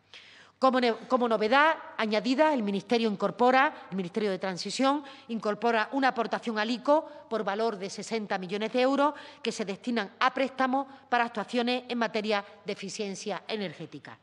Asimismo, el IDAE, el Instituto para la Diversificación y el Ahorro de la Energía, se dota de 300 millones de euros para impulsar energías renovables o eficiencia energética elementos o partidas importantes para acompañar el cambio global que tiene que experimentar el conjunto de la sociedad. Se incrementa también de 12 a 32 millones el llamado Fondo del Carbono para reorientar la actividad económica hacia estos modelos bajos en carbono y también se contribuye al cumplimiento de los objetivos internacionales en materia de reducción de emisiones. El apartado de infraestructura, que conocerán ustedes con más detalle esta tarde en la rueda de prensa del ministro de Fomento, yo diría que es una de las claves para construir un país con mejor cohesión territorial. El Gobierno tiene claro que tenemos que avanzar eh, eh, en los niveles de infraestructura eh, del país, que sean infraestructuras modernas y que sean capaces de vertebrar las distintas regiones en beneficio de los ciudadanos y de la economía. Somos conscientes de que en los últimos años la inversión ha sido una de las grandes damnificadas de la política de austeridad, lo que ha generado cierto déficit de servicio. En este sentido, los presupuestos son también un punto de inflexión al destinar 7.572 millones de euros a la infraestructura, lo que supone un incremento de la política de infraestructura del 40% respecto al 2018. Si analizan las principales partidas, la inversión en ferrocarril alcanza los, 4.841 millones. En primer lugar, se trabajará en la red ferroviaria convencional con políticas de mantenimiento y de mejora que permitan adaptarse a las necesidades del entorno, que reduzcan las incidencias que tiene la red eh, ferroviaria en el transcurso, en el devenir de nuestro país y también que sean competitivas frente a otros modelos de transporte. El objetivo es desarrollar nuevas oportunidades de tráfico y de favorecer con ello también la actividad económica. El plan de cercanía tiene previsto que Adif y Renfe realicen actuaciones en la mejora de la red que se refieren a su modernización y a la mejora de las instalaciones. Esto tendrá como objetivo fundamental la mejor accesibilidad a esta red de transporte. Eso supone supresión de pasos a nivel o modernización de las infraestructuras y los trenes con sistemas de pago que sean más eficaces. Se han previsto actuaciones en Cataluña, en Madrid, en Málaga, en Alicante, en Sevilla o el tren de la costa. Respecto a la alta velocidad, durante 2019 se mantendrá el estudio de aquellos tramos aún que no tienen una definición concreta, con el fin de extender de forma sucesiva los beneficios de esta red a poblaciones o a, lugares en donde exista una mayor proporción de población que se pueda sumar a esa red ferroviaria. Concretan las actuaciones en los siguientes corredores corredor norte-noroeste, corredor mediterráneo, corredor de Andalucía, corredor de Extremadura o el corredor mediterráneo cantábrico. En resumen, ADIF prevé realizar inversiones totales por 2.144 millones y ADIF alta velocidad por 2.560 millones. En relación con las carreteras, los objetivos de inversión son, evidentemente, la reducción de la peligrosidad y de la mortalidad con la eliminación de tramos de concentración de accidentes o la definición de una red básica de carreteras convencionales con unas condiciones de calidad más adecuadas. Se pretende impulsar del mismo modo el desarrollo de la intermodalidad en el transporte de viajeros y mercancías, mejorando la inversión en los accesos a puertos y aeropuertos, así como el acondicionamiento de paradas de autobús en la red de carreteras del Estado para la conservación del patrimonio viario, manteniendo los elementos de las carreteras en, condiciones de seguridad y para las autovías se destinan 1.100, perdón, 1.001 millones de euros. Esta tarde decía el Ministerio de Fomento, les da un detalle más concreto de la inversión pública, incluyendo el Estado y también el sector público administrativo empresarial, que alcanza los 16.947 millones de euros, lo que representa un crecimiento del 14,6%. Como saben, hay diversas dificultades técnicas a la hora de territorializar estas cifras, pero en cualquier caso el Gobierno ha intentado incrementar las partidas territorializadas y además ha dado cumplimiento a los estatutos de autonomía que contemplan disposiciones en esta materia. De forma especialmente por su volumen, quiero destacar específicamente el cumplimiento del Estatuto en Cataluña, Andalucía, Comunidad Valenciana o Extremadura y otras de las que esta tarde, como decía, el Ministerio de Fomento dará debida cuenta. En el caso de Cataluña, que es la comunidad por la que más se interesaron el pasado viernes, la inversión alcanza los 2.251 millones de euros, un 18,5% más. En esta cifra se incluyen los 200 millones que el Gobierno se comprometió a abonar a la Generalitat en cumplimiento de la sentencia del Tribunal Supremo relativo a la disposición adicional tercera del Estatuto de Autonomía de Cataluña. Recuerdan que la Comisión Mixta de eh, Generalitat con el Estado, eh, llegó, eh, eh, puso las condiciones para el pago de este servicio y esta partida de 200 millones se realiza por la vía de la transferencia y, por tanto, está complementariamente acompañando el presupuesto de inversiones territorializadas desde concretamente el capítulo 7. Quiero destacar, por tanto, que siempre dentro de los espacios constitucionales hay márgenes para el diálogo y quiero destacar que siempre que se han producido reuniones de consenso, reuniones de diálogo, eh, todos hemos salido satisfechos porque, en definitiva, lo que se persigue es que el conjunto de la ciudadanía pueda tener unos mejores servicios, una mejor financiación o unas mejores prestaciones. Y yo creo que la Generalitat de Cataluña, el Gobierno, cuando se ha sentado en las mesas de eh, negociación con el Estado, en las comisiones vistas, creo que siempre hemos llegado a acuerdos que son razonables para el conjunto de Cataluña y para el conjunto del país. En el caso de Andalucía, la inversión se sitúa en 2.133 millones, un 17,5% eh, en, términos poblacionales, y en la Comunidad Valenciana eh, se representa esta cifra, 1.190 millones, un 9,8% del porcentaje de población. Permítanme, de todas maneras, que incida en esta idea. Estos son unos presupuestos positivos para el conjunto de España y de los españoles, vivan donde vivan y, por tanto, el conjunto de las partidas beneficia a todos los españoles en condiciones de igualdad. Se incrementa la renta de pensionistas catalanes, riojanos o andaluces. Se eleva la renta de trabajadores precarios que cobrarán más en Baleares, en Aragón o en Murcia. Son unos presupuestos positivos para parados mayores de, 52 años que cobrarán más en Galicia, en Valencia o en Castilla-León. O los padres madrileños gozarán con estos presupuestos de ocho permisos de paternidad, igual que los extremeños, que los cántabros o que los castellanos manchegos. Son presupuestos, por tanto, que pretenden construir un país mejor y son buenos para España en su conjunto. Y creo que bueno y pedagógico repetir esta materia porque a veces estamos eh, eh, de forma muy intensa eh, con algunas formaciones políticas decididas a enfrentar los territorios unos con otros y creo que hay que hablar en positivo del conjunto de los ciudadanos de España, del conjunto de los ciudadanos del país, más allá de las singularidades que tenga cada uno de los territorios.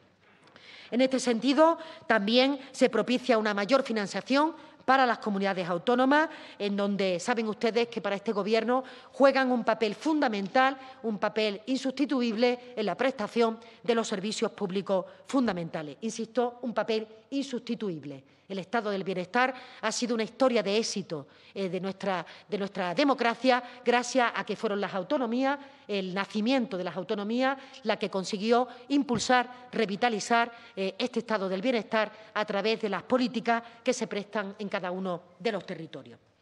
Son las comunidades autónomas las que asumen el peso de estos servicios públicos fundamentales y, por tanto, eh, seguiremos trabajando en la reforma del sistema de financiación autonómica, como dijo el presidente al principio de esta, eh, eh, al, inicio de la investidura y, por tanto, seguiremos trabajando conjuntamente para que avancemos de forma progresiva. No obstante, mientras que se consigue ese acuerdo para, la reforma del modelo, se han puesto en marcha muchas iniciativas para aumentar los recursos de las comunidades. Una de ellas ha sido eh, eh, que las regiones que cumplan con los objetivos de estabilidad puedan salir a financiarse por ellas mismas a los mercados financieros, recuperando la autonomía financiera, que es una parte primordial de la autonomía política. Yo diría que sin una tenemos escasa capacidad de poder ejercer la segunda. También para, mejorar esas cifras de financiación se mejora las partidas destinadas a administraciones territoriales, incrementándose un 6,4%, llegando a los 129.899 millones de euros. Aquí se incluyen comunidades autónomas y también corporaciones locales.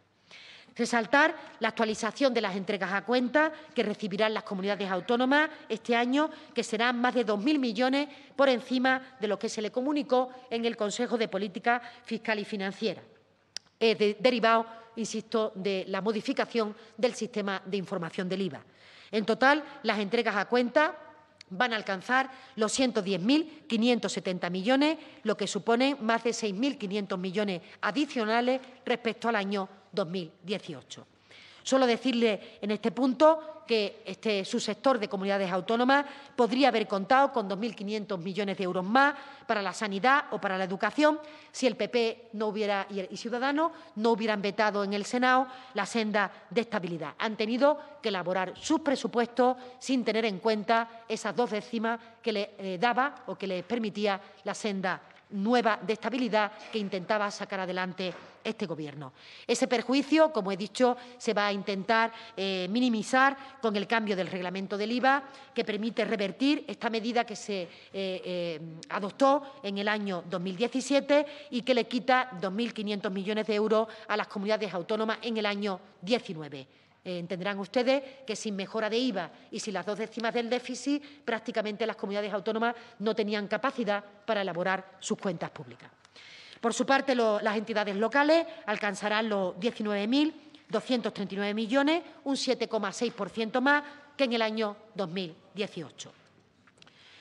El apartado último de Seguridad Social decirle que el presupuesto consolidado de ingresos no financieros eh, asciende a 140.256 millones, lo que supone un 7% más.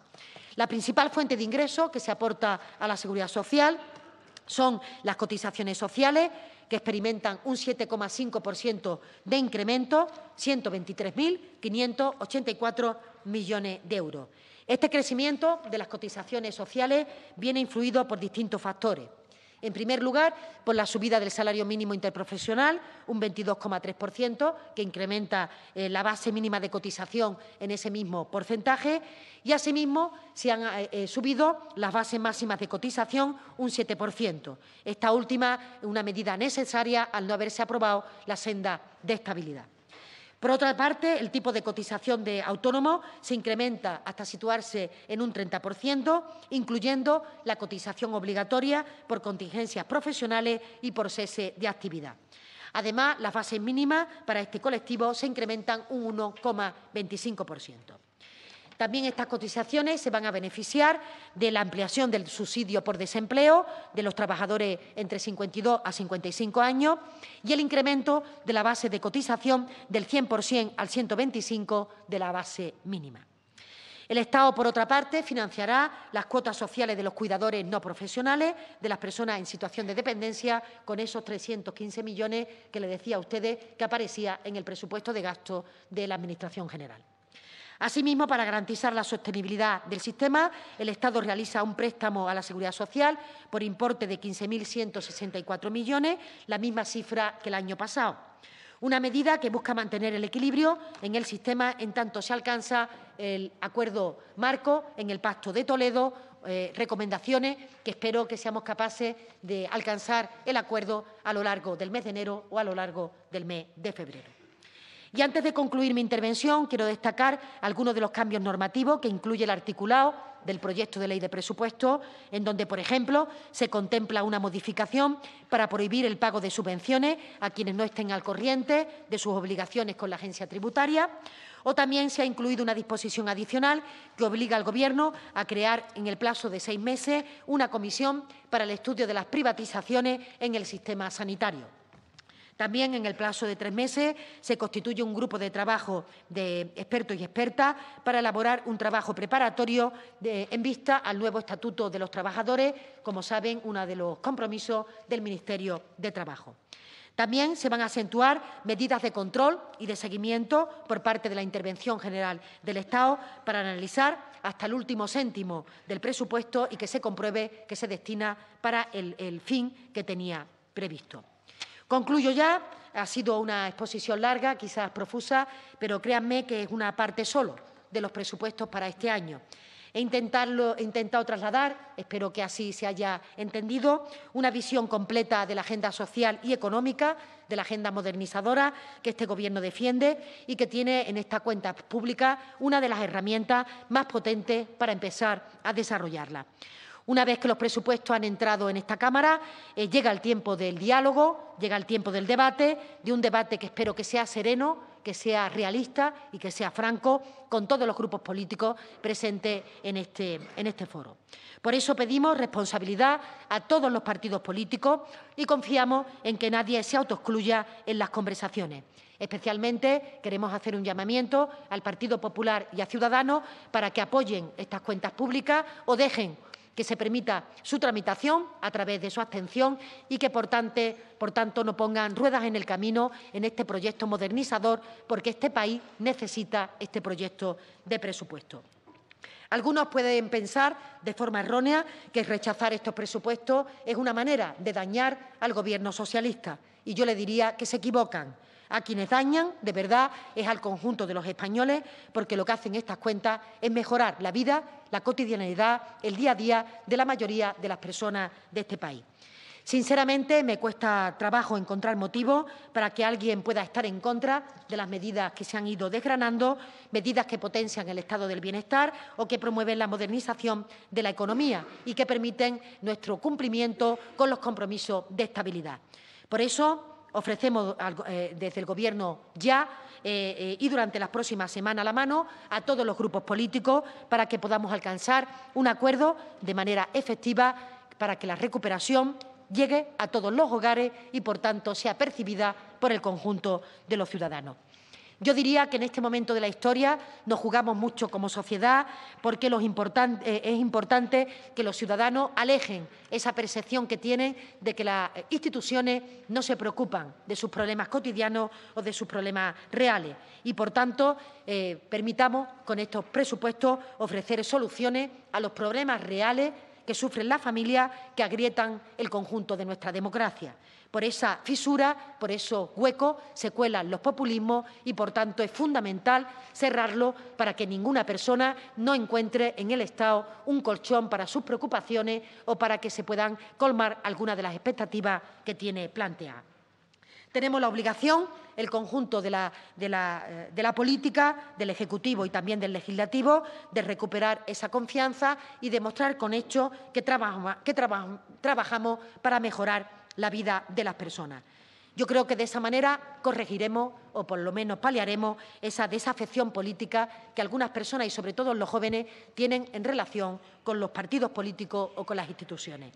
Estos presupuestos construyen ese país más justo y también son el mejor dique que se puede levantar contra los extremismos. Estamos convencidos de ello y por eso le puedo asegurar que este equipo de mujeres se va a dejar la piel para que sean aprobados por esta Cámara. Muchas gracias por vuestra atención y quedamos a su disposición para el turno de preguntas, yo misma o alguna de mis compañeras.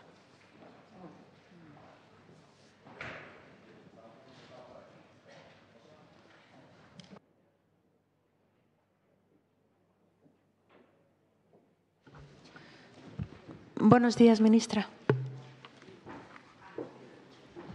Buenos días. Eh, quería plantearle en primer, en primer, Bueno, soy Rosa María Sánchez del periódico de Cataluña. Quería plantearle en, primera, en primer momento una cuestión relativa a la inversión territorializada precisamente para, para Cataluña. Ha dicho usted que las cifras cumplen con la disposición tercera del Estatut. Ha situado la, la participación de Cataluña en la inversión total en el 18,5%, pero lo cierto es que en el cuadro que nos han facilitado la participación es del 16,8%, solamente se eleva el porcentaje si se suman cantidades pendientes del pasado, precisamente para cumplir esa disposición del pasado, esos 200 millones. No sé si esta interpretación que hacen ustedes, que hay una inconsistencia entre lo que aparece en el cuadro y la interpretación que usted hace, considera que puede ser suficientes para acabar seduciendo, como usted decía en la rueda de prensa del viernes, a los nacionalistas, a los independentistas catalanes que están pendientes, muy pendientes de lo que aparecen en estas cuentas para finalmente decidir su, apoyo.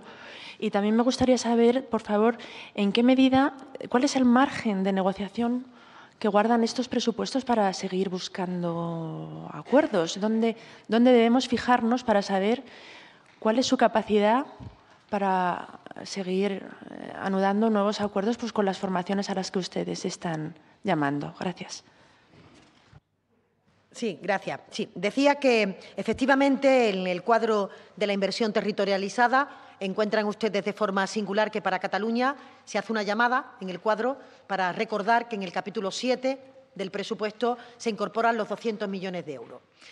El, hecho de que no se incorpore la inversión territorializada, esos 200 millones, es porque en el acuerdo con la Generalitat se decidió que esa partida presupuestaria, en vez de licitarla directamente el Estado, se iba a transferir a la comunidad autónoma para que la invirtiera o para que licitara la propia Generalitat en las inversiones. Es decir, esos 200 millones forman parte de la inversión del Estado Em, con independencia de que, sea eh, una partida que se eh, acordó en la, Comisión bilateral por cumplimiento de la sentencia del Estatut, pero que son partidas eh, de déficit inversor del Estado en la comunidad autónoma y que, por tanto, si hubiera licitado el Gobierno de España, estarían incorporadas al cuadro que usted hace mención y estaría dando un dato de más 200 millones de euros, 18,5% del total.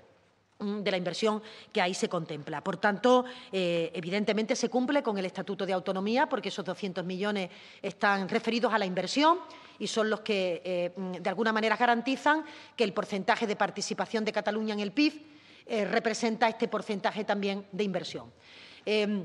La mejora posible que en el futuro puedan tener los presupuestos, tanto para Cataluña como para el resto de, los grupos políticos, es la que tiene cualquier presupuesto. Una vez que entran en la Cámara, una vez que se inicia la tramitación, evidentemente el presupuesto pertenece a los grupos políticos. Esto significa que, eh, no alterando el estado de ingresos y de gastos, aunque algunas veces incluso se ha alterado, se eh, eh, modifiquen las partidas para llevarlas a aquellos lugares donde las fuerzas políticas entiendan que responde mejor a sus pretensiones o a sus peticiones.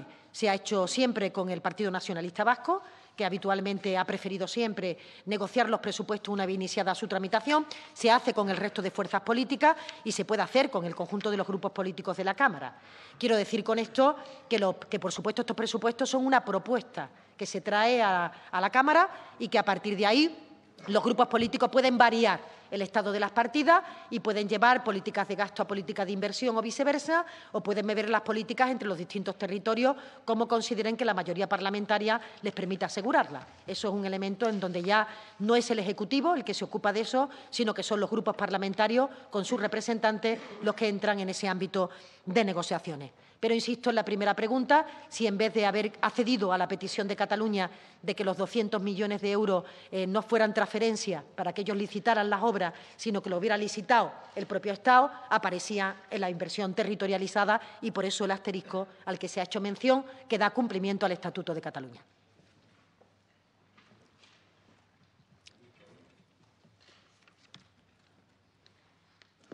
Hola, buenos días, ministra. Soy Javier Jorrin del Confidencial. Yo tenía un par de preguntas. En primer lugar, en el caso de la seguridad social. Aquí. Ah, bien, ah, ya, te veo. En el caso de la seguridad social, me gustaría saber cuál es el déficit que tienen previsto, tanto del sistema como de los fondos, porque me imagino que SEPE volverá a tener algo de, superávit. No lo sé, me lo imagino. Tenemos un déficit previsto inferior al del año anterior, pero ahora la Secretaria de Estado de Presupuesto le da el relato de la cifra. Además, tenía otra pregunta que se la lanzo ya y así cierro el micrófono. Eh, no sé a qué fecha prevé que se puedan aprobar los nuevos impuestos o con qué fecha de, previsión de entrada en vigor de los nuevos impuestos está hecha la, cuantificación de, los ingresos.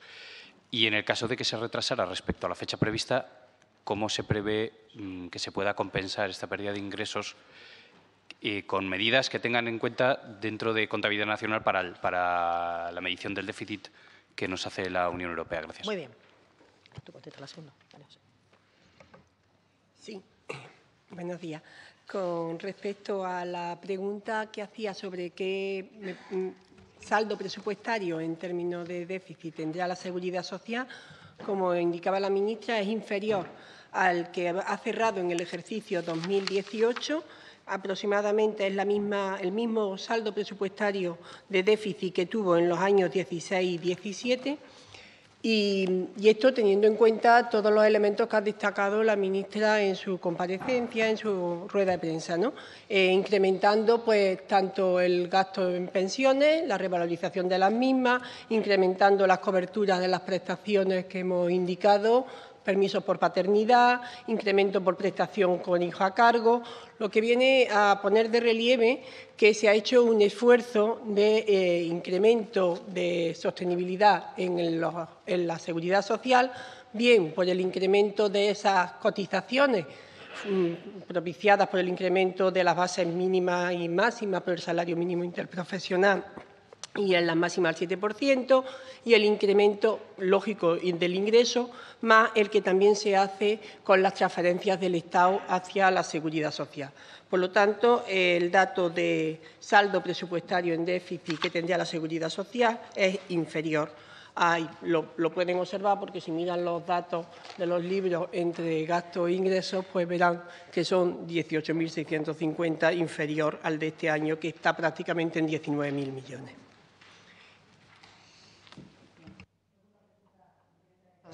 Sí, en el. perdone. ¿Y, de los fondos de la seguridad social nos lo podría dar? Secretario de Seguridad Social, el secretario de Estado de Seguridad Social también hará una comparecencia pública, o la ministra, no sé quién de los dos, creo que es el jueves, ¿eh? para explicar todos los datos pormenorizados de seguridad social. Si le parece, ya para cuestiones tan concretas como los fondos, eh, dejamos al secretario de Estado de Seguridad Social que lo explique. Nosotros le vamos a dar los datos globales, si me permite.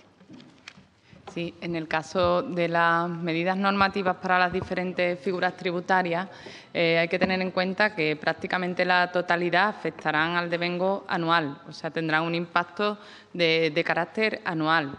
Eh, únicamente eh, las dos figuras nuevas tributarias que están tramitándose en anteproyecto de ley, que como conoce ya fueron a Consejo de Ministros, eh, tendrán su entrada en vigor en cuanto se apruebe su tramitación en las Cortes, pero realmente el viernes que viene irán en segunda vuelta a Consejo de Ministros, por tanto tendrán su entrada en las Cortes y su tramitación que entendemos que será ágil y rápida.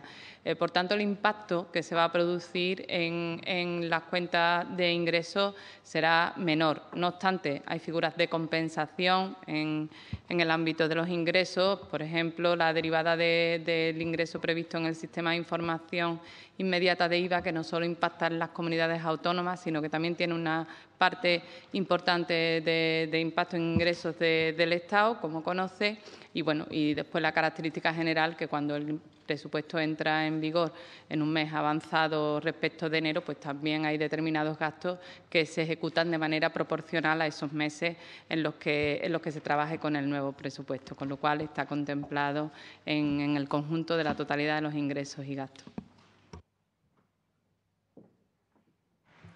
Sí, buenas tardes. Eh, José Luis Martín de Castilla-La Mancha Televisión. Me gustaría, por favor, si nos pueden detallar el, resto de comunidades, la inversión prevista o en el caso de Castilla-La Mancha si la tuvieran y la variación con respecto al presupuesto de, 2018. Gracias. Me gustaría que la parte de las inversiones territorializadas, si me permiten, ¿no? se las podamos dejar que la explique primero el, el ministro de Fomento van a tener ustedes, vamos, la tienen ustedes en la, en la cifra, en la tabla. Si quiere le busco en concreto la de Castilla-La Mancha por no dejarle la pregunta sin contestar. Fichas por comunidad está aquí, ¿no? Sí.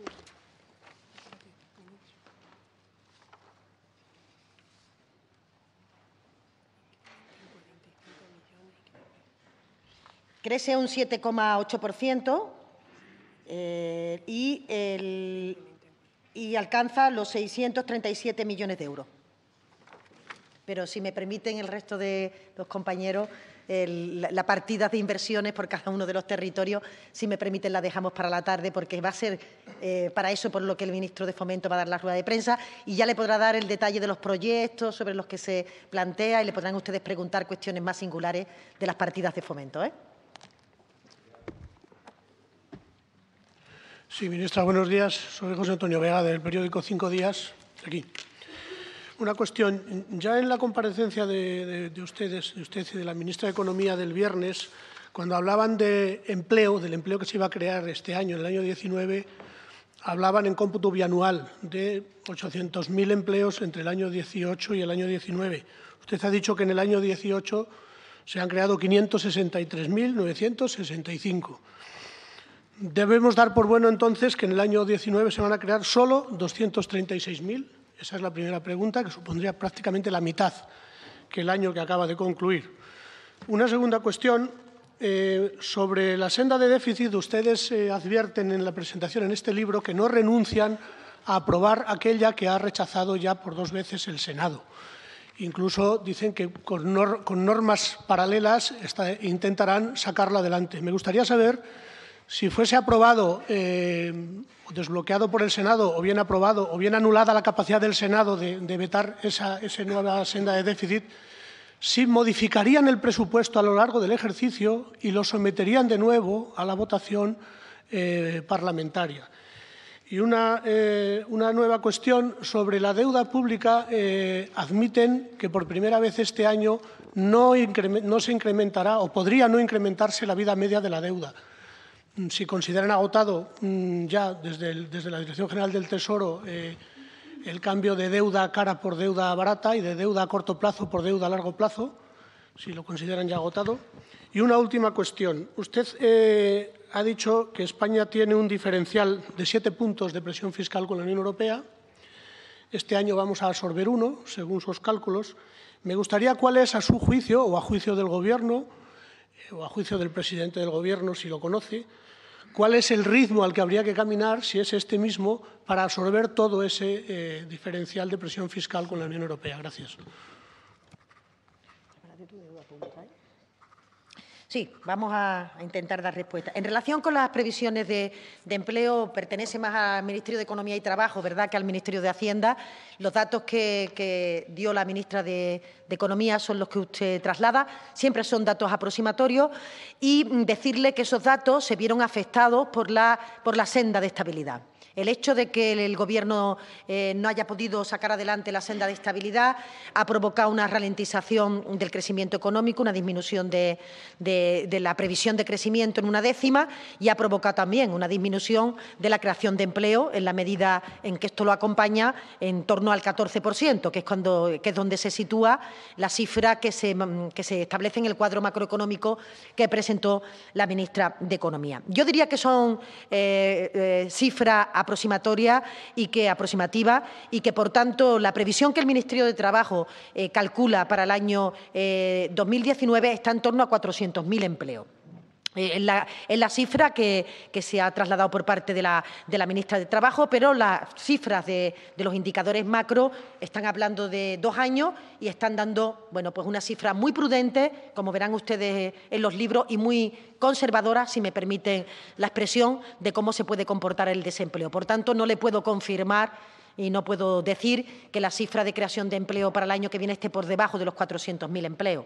Creo que va a estar en los 400.000 empleos y que, por tanto, la suma de cómo ha terminado el año, que ha sido en una previsión superior de lo que teníamos en un principio previsto, la suma total eh, puede ser superior a la que en un primer momento se transmitió por parte del Ministerio de Economía y después del Ministerio de Trabajo.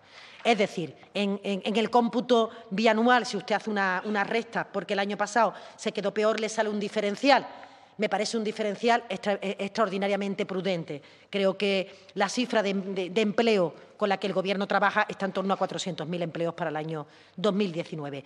No obstante, insisto, ¿no? que va a ser el Ministerio de Trabajo el que dé también su rueda de prensa, igual que Tesoro, y cuestiones ya relativas a parte un poco más específica de la previsión de los ministerios podrán trasladárselo. En relación con la no aprobación de, la senda de estabilidad, el Gobierno va a seguir impulsando la reforma de la ley orgánica y, por tanto, va a tener una, eh, eh, va a tener una actividad dentro del grupo parlamentario para que no se produzca el, freno que se está produciendo de forma, desde nuestro punto de vista, no legítima por parte de la mesa. ¿Qué ocurre cuando se apruebe o qué ocurrirá? Cuando se apruebe la nueva senda teniendo unos presupuestos vigentes. No es la primera vez que eso ocurre en este país. Eh, durante los años de gobierno de la crisis del Partido Popular, eh, las comunidades autónomas teníamos nuestro presupuesto en aquel momento hecho y tenían sus presupuestos aprobados y, sin embargo, se aprobó una modificación de la senda. Eso no cambió su proyecto de presupuesto.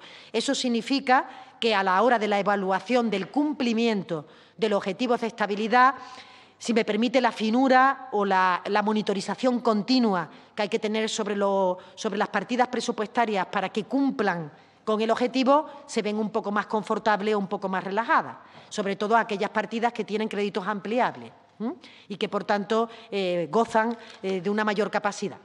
Eso es lo que habitualmente se hace, por tanto, no se cambiarían, si esa era su pregunta, no se cambiarían los presupuestos generales del Estado, lo que sí nos permitiría es gestionar la situación de las partidas con una mayor flexibilidad de la que tenemos ahora, no solamente a nosotros, sino a las administraciones territoriales. ¿eh? Tengan en cuenta que nosotros también velamos por el cumplimiento del objetivo en las administraciones territoriales. en la parte de deuda pública, ahora comenta mi compañera, la, la pregunta sobre la presión fiscal. Nosotros tenemos que ver cómo se comporta definitivamente las figuras fiscales y los cambios normativos a lo largo del año 2019. Saben que hay algunos sectores que para nosotros tienen una eh, especial monitorización, como es el sector de la banca, en donde creemos que a través del impuesto de sociedades y transacciones financieras van a tener como, eh, como digamos, sector corporativo una mayor contribución a los ingresos públicos. No obstante, lo vamos a monitorizar eh, porque la idea sería, de forma progresiva, ir reduciendo esa diferencia fiscal que tiene una parte sustancial en el impuesto de sociedades. El impuesto de sociedades tiene un diseño, tiene una arquitectura en nuestro país extraordinariamente complejo. Eh, la modificación del impuesto de sociedades, eh, desgranando las exenciones, bonificaciones, todos esos apartados, requiere de un tiempo más prolongado que el que teníamos para la presentación de estos presupuestos y, por tanto, será un trabajo que, que iremos desarrollando a lo largo del año 19 para ver si efectivamente conseguimos que los tipos efectivos se aproximen a los teóricos. Eh, mm, la realidad de nuestro, de nuestro entramado de sociedades es que al final toda esa situación hace que algunas empresas tengan tipos efectivos muy por debajo de los tipos teóricos, incluso negativos. Y esto es lo que tenemos que revisar desde la Dirección General de Tributo y la Agencia Tributaria para conseguir que eso eh, vaya siendo más conforme a la ley, a lo que establece la ley, ¿verdad? Que parece que es lo razonable respecto a la, pregunta sobre deuda pública, eh, no, o sea, la intención es seguir alargando los plazos. el primer objetivo es reducir eh, la, deuda pública. Para esto es imprescindible ir reduciendo los objetivos de déficit para que se puedan liberar recursos para destinar a, a otros fines y, desde luego, este es el objetivo. Como deuda neta se emitirá eh, menos que en ejercicios anteriores y las tres eh, cuestiones fundamentales efectivamente es minimizar la emisión de deuda, alargar los vencimientos y además controlar eh, los tipos de interés que se pagan por estos, por estos vencimientos. Tanto es así que también nos consta que Tesoro está trabajando para que este alargamiento de los vencimientos tenga una repercusión y tenga un traslado también a las comunidades autónomas que se puedan beneficiar de esta, de esta medida y de esta estrategia. No obstante, perdón, el Tesoro, el, secretario general del Tesoro también tendrá una comparecencia específica. Sí, buenos días. Pilar Abril de TV3. Quería insistir eh, si, por un lado, cree que durante la negociación de los presupuestos se puede alcanzar, se puede alcanzar el 19,2% del peso que representa Cataluña en el PIB, que sería un poco la cifra que considerarían más adecuada. Y, por otra parte, eh, cambiando un poquito de tema, quería saber si con la decisión de la Generalitat de salir del, FLA y acogerse al Fondo de Facilidad Financiera, si se van a mantener los mismos controles reforzados que había desde hace un tiempo o, por, el contrario, se va a flexibilizar de alguna manera todo esto. Gracias. Respecto a la primera pregunta, es evidente que él decía ¿no? que en ese momento alcanzaba el 18,5, el, bueno, 18,5, 19 son cifras similares.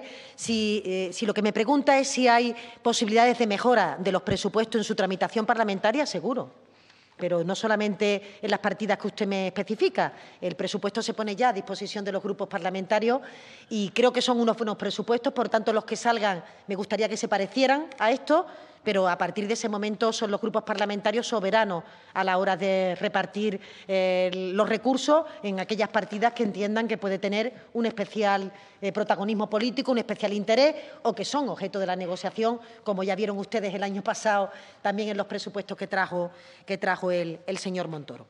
Respecto a facilidad financiera, realmente, eh, desde que se produjo el cambio legal en facilidad financiera, no traía ya tanta ventaja pertenecer al compartimento de facilidad financiera.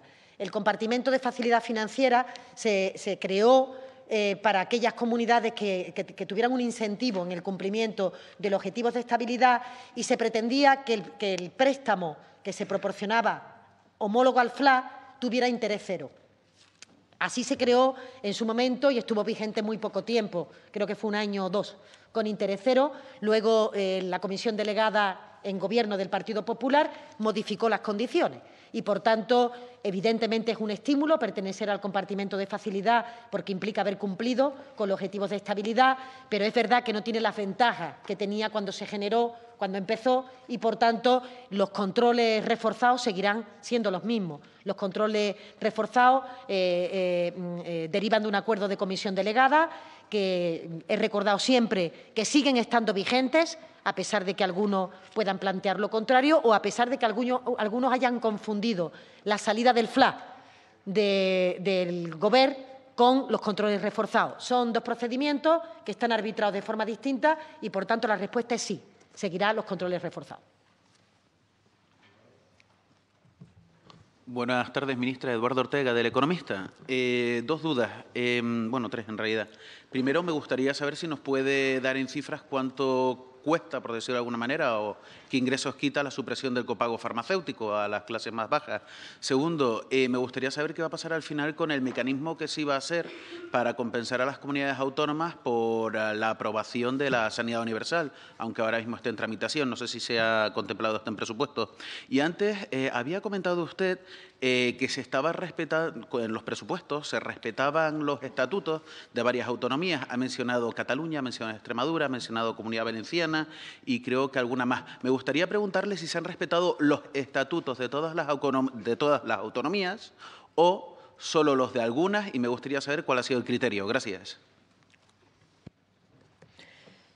Sí, decirle, decirle en relación con la primera pregunta del copago farmacéutico, eh, eh, afecta a un volumen eh, pequeño, de, pequeño del total de las personas que son objeto de la prestación, de la prestación farmacéutica. Digo esto porque a veces cuando se habla de, retirar el copago farmacéutico puede dar la sensación de que se retira todo a los activos, ¿no? Solamente es una parte de los pensionistas y se retira por un problema fundamentalmente sanitario, no tanto económico como sanitario, porque se constata que aquellas personas que tienen más dificultad de llegar a fin de mes y fundamentalmente en aquellos colectivos más medicalizados, si me permite esa expresión, que son las personas mayores, eh, eh, no retiran sus medicinas.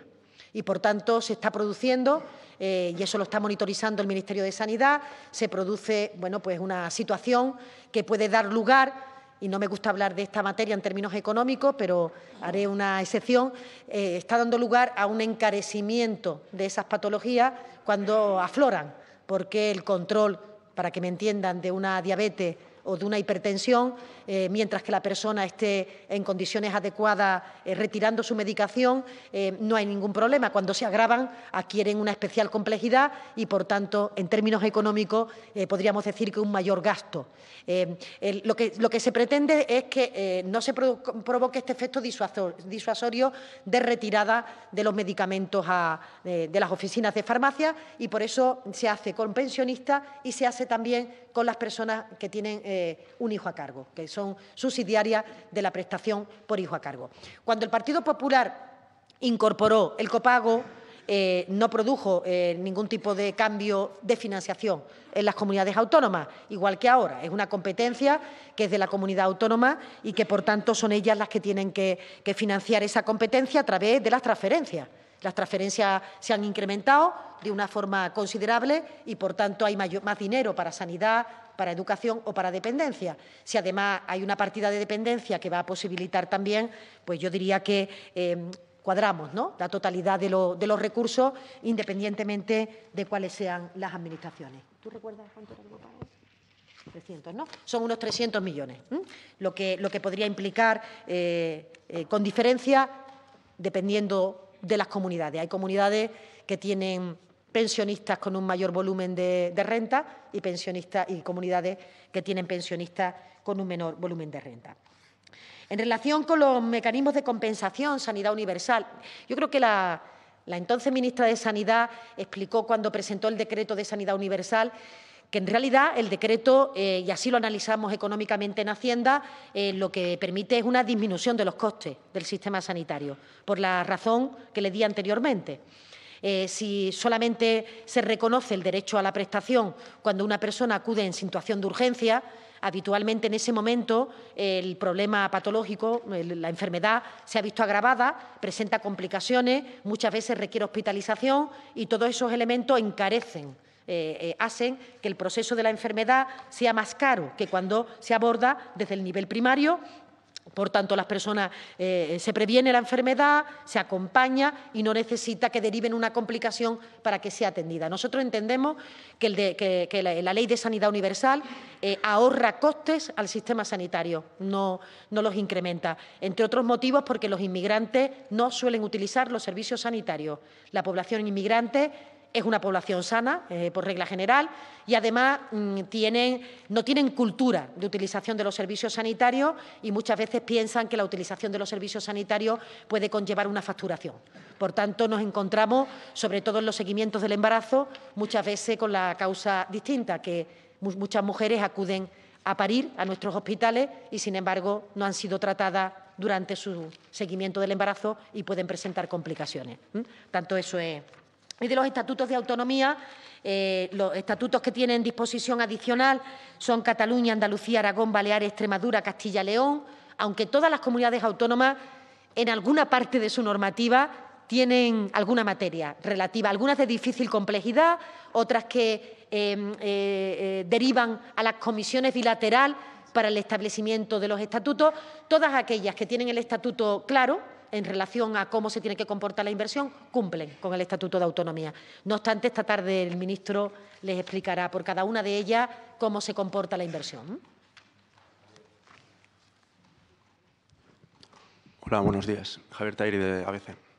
Eh, yo, tenía una, pregunta eh, relativa. A, no sé si a la hora de elaborar los presupuestos eh, tienen el impacto en el PIB de las subidas de, impuestos, a cuánto asciende el impacto en la actividad, ¿no? en, la, en la recaudación. También quería saber, por otro lado, si, si, han, vamos, si han entregado o han tenido alguna comunicación con Europa, con, la Comisión Europea, sobre los presupuestos y sobre el hecho de, cómo impacta ese mes de, IVA a la hora de reducir el déficit en contabilidad nacional si desde Europa le han dicho que todo bien o, lo van a hacer, en fin.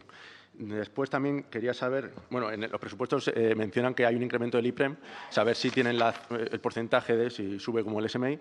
Y lo último, eh, también hay una partida. Perdona, ¿puedes repetir esa pregunta? Es que vas muy rápido, ¿no? te entiendo. La, no te escucho bien, vaya. Bueno, la del IPREM, que en los presupuestos eh, se menciona que sube el IPREM pero no si lo hace igual que el SMI, para saber el porcentaje de, subida. Y lo último, eh, Ah, y lo último era, eh, bueno, que hay una partida dedicada a elecciones y partidos políticos que aumenta un 102%. Yo entiendo que es porque hay tres elecciones este año, en Europa, municipales autonómicas, pero para, para aclarar, vamos. Gracias. Es que la sonoridad algunas veces ese micro no es... A, lo mejor me dejo alguna pregunta en el aire y... Por empezar por alguna y ahora me apuntáis vosotros las que me dejen el tintero. El IPREN sube un 2%. En relación con el IVA y, los ajustes en términos de contabilidad nacional, eh, hay muchas partidas del presupuesto que tienen ajustes positivos en términos de contabilidad nacional. A mí me llama la atención de que, este año también se haga el debate en términos de contabilidad nacional porque es una materia extraordinariamente compleja y muchas veces poco intuitiva para poder explicarla. Por ejemplo, el, desajuste que puede provocar o el incremento de la recaudación del IVA que pueda provocar un desajuste en términos de contabilidad nacional se corrige con el superávit de ayuntamiento, que, son partidas que sin gastarse eh, arrojan un déficit en positivo, un ajuste ¿eh? un ajuste en términos de contabilidad nacional en positivo y, por tanto, que nos permiten eh, compensar. Pero, igual que esta, por ejemplo, se han establecido ajustes de contabilidad nacional este año que para el año que viene serían positivos, como el rescate de las radiales, que produjo un ajuste en contabilidad nacional de 2.000 millones de euros.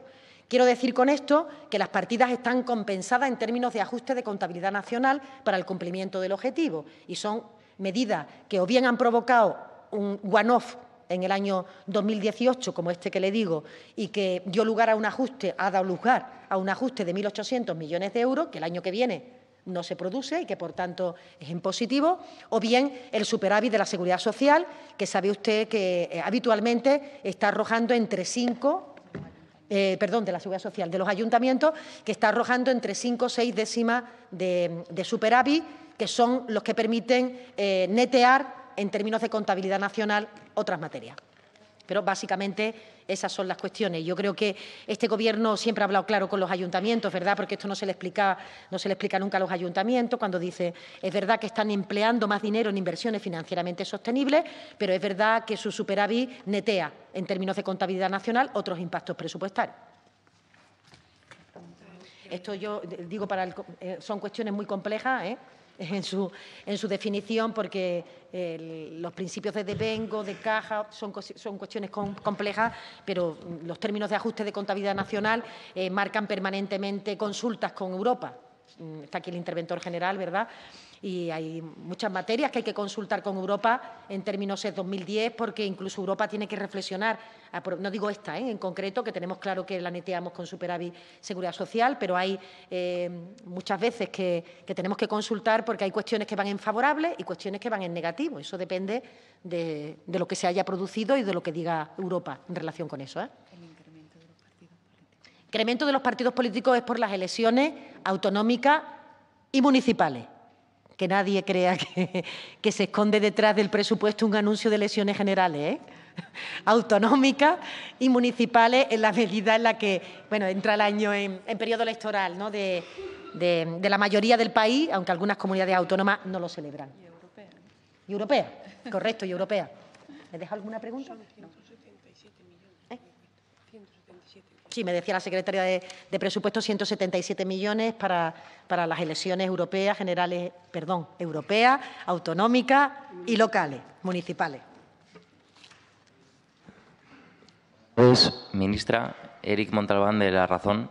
Dice que las medidas tributarias no van a afectar a la clase media, pero por otra parte se sube los impuestos al diésel, que va a ser una recaudación global de más de 600 millones de euros. No sé si es que la clase media no echa diésel o cómo se explica esto.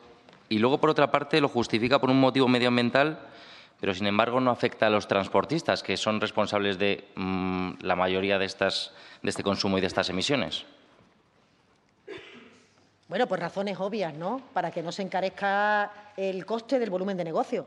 O sea, se eh, excluye al gasóleo profesional justamente porque entendemos que hay que proteger a las empresas pequeñas, medianas o a aquellos que son transportistas profesionales para que no se afecte su volumen de negocio con motivo de la medida. O sea, una cosa es que tenga un interés medioambiental como lo tiene y otra cosa es que en esta transición vayamos protegiendo a aquellos colectivos que nos parezcan prioritarios. Em, eh, quizás hacía usted en su pregunta, no sé si un tono que reían los compañeros de ironía, eh, no, yo no sé si ustedes son conscientes de que este año el presupuesto para 2018 ha aumentado en nueve comunidades el incremento de gasolina y diésel. Y se ha aumentado más de lo que se va a aumentar el diésel para, el año que, para este año 2019. Quiero decir con este que el precio de los carburantes en esta ocasión eh, ha sido visible porque forma parte de una medida fiscal pero en otras ocasiones y con el apoyo de Partido Popular y Ciudadanos se ha incrementado el precio de los, combustibles eh, y no ha habido ningún debate en torno a que era necesario porque había que armonizar, en este caso, una, directiva europea. ¿no? Em, por tanto, es una medida que lo que, que lo que conlleva es quitar la bonificación. En este país existía una cosa que ya existe en pocos países europeos que es que el diésel está bonificado respecto a la gasolina. Y nosotros somos el país que tiene y sigue teniendo, después de, esa, de, quitar esa bonificación, que no se quita entera, la equiparación va a ser progresiva, es decir, que tienen que pasar más años para que se equipare al precio gasolina.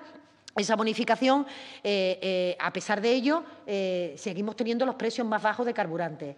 Y lo que persigue es quitar esa idea que se pueda tener errónea de que mm, el, el diésel contamina menos que bueno, son los supuestos los que se parte cuando se está explorando la fiscalidad medioambiental y en la que se recomienda que no haya ningún tipo de diferenciación porque, porque la contaminación se produce igualmente y lo que tenemos que caminar es hacia los coches eléctricos, intentar bajar los precios de los coches eléctricos o los híbridos, que la ciudadanía tenga ayudas para poder ir cambiando su parque automovilístico y que la industria automovilística tenga incentivos para hacer una transición que permita que en el año 2030, 2040, 2050, cuando los países de nuestro entorno no pidan coches de combustible porque tengan ya un parque automovilístico que, les lleve, porque no pueden circular por las grandes ciudades, vaya, le lleve a tener que comprar un coche eléctrico, nuestra industria siga exportando. Si no podemos tener un problema grave de que nuestra industria se quede sin capacidad exportadora y si se queda sin capacidad exportadora sería un, problema económico fundamental. Por tanto, es una fiscalidad que está mm, eh, orientando un modelo de transición en la industria, es una fiscalidad que está orientando a un modelo de conducta en los consumidores y que está quitando una bonificación que evidentemente eh, eh, afecta a todos los ciudadanos. Pero me dirá usted que después de los elementos que hemos escuchado de que este, este Gobierno va a creo que alguna expresión que se ha utilizado, freír impuestos ¿no? a la clase media. Claro, que el IRPF sea a partir de 130.000 y solo dos puntos, hasta 300.000, que es cuando empieza cuatro, o, o que el impuesto de sociedades sea para empresas que facturan más de 20 millones, un 0,5% de contribuyentes y un 0,7% de empresas, o al revés. Eh, entonces entenderá usted que, que yo diga que para la clase media y para la empresa de este país no se afecta la fiscalidad.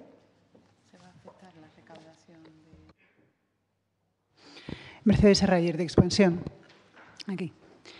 Quería que nos explicaran la deducción que se crea para empresas que eh, incorporen mujeres al Consejo de Administración, si nos pueden concretar exactamente cuál, va a ser, eh, qué ratios de mujeres estamos hablando, un poco más de detalle. El presupuesto de beneficios fiscales, también quería saber en la página 208 si nos pueden explicar la, la subida que experimenta Global, sobre todo en IRPF, y la caída en sociedades, a qué lo atribuyen respecto a las novedades que hay de este año y respecto al anterior. Y luego sobre el sí, eh, cuando se empezó a hablar de que podía haber un mes más para, este año en estos presupuestos y demás, usted comentó que podía haber un cambio para las empresas respecto a, cuándo tienen que declarar. Y con este nuevo sistema se les atrasó eh, el periodo y usted comentó que se podría volver a adelantar. No sé en qué ha quedado esto. Muchas gracias.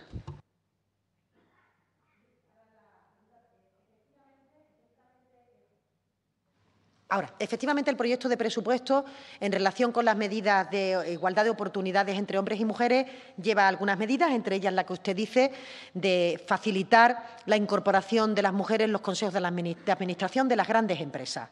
Hay una eh, deducción que, permitirá a las empresas, ahora la, explica la secretaria de, Hacienda, que permitirá a las empresas que su coste fiscal sea menor por el motivo o por el hecho de que haya mujeres presentes en los consejos de administración. Nos parece una medida novedosa, una medida importante, porque normalmente el ejemplo más manifiesto de la falta de igualdad de oportunidades se produce en los consejos de administración y, sobre todo, de las grandes empresas, en donde eh, la masculinidad sigue siendo la seña de identidad. Ahora ella profundiza un poquito, pero en la segunda parte sí decirle que el sistema de información se corrige el pago. ¿no? El sistema de información del IVA dio lugar, eh, la puesta en marcha, a que las empresas retrasaran su eh, pago del IVA de los días 20 a los días 30.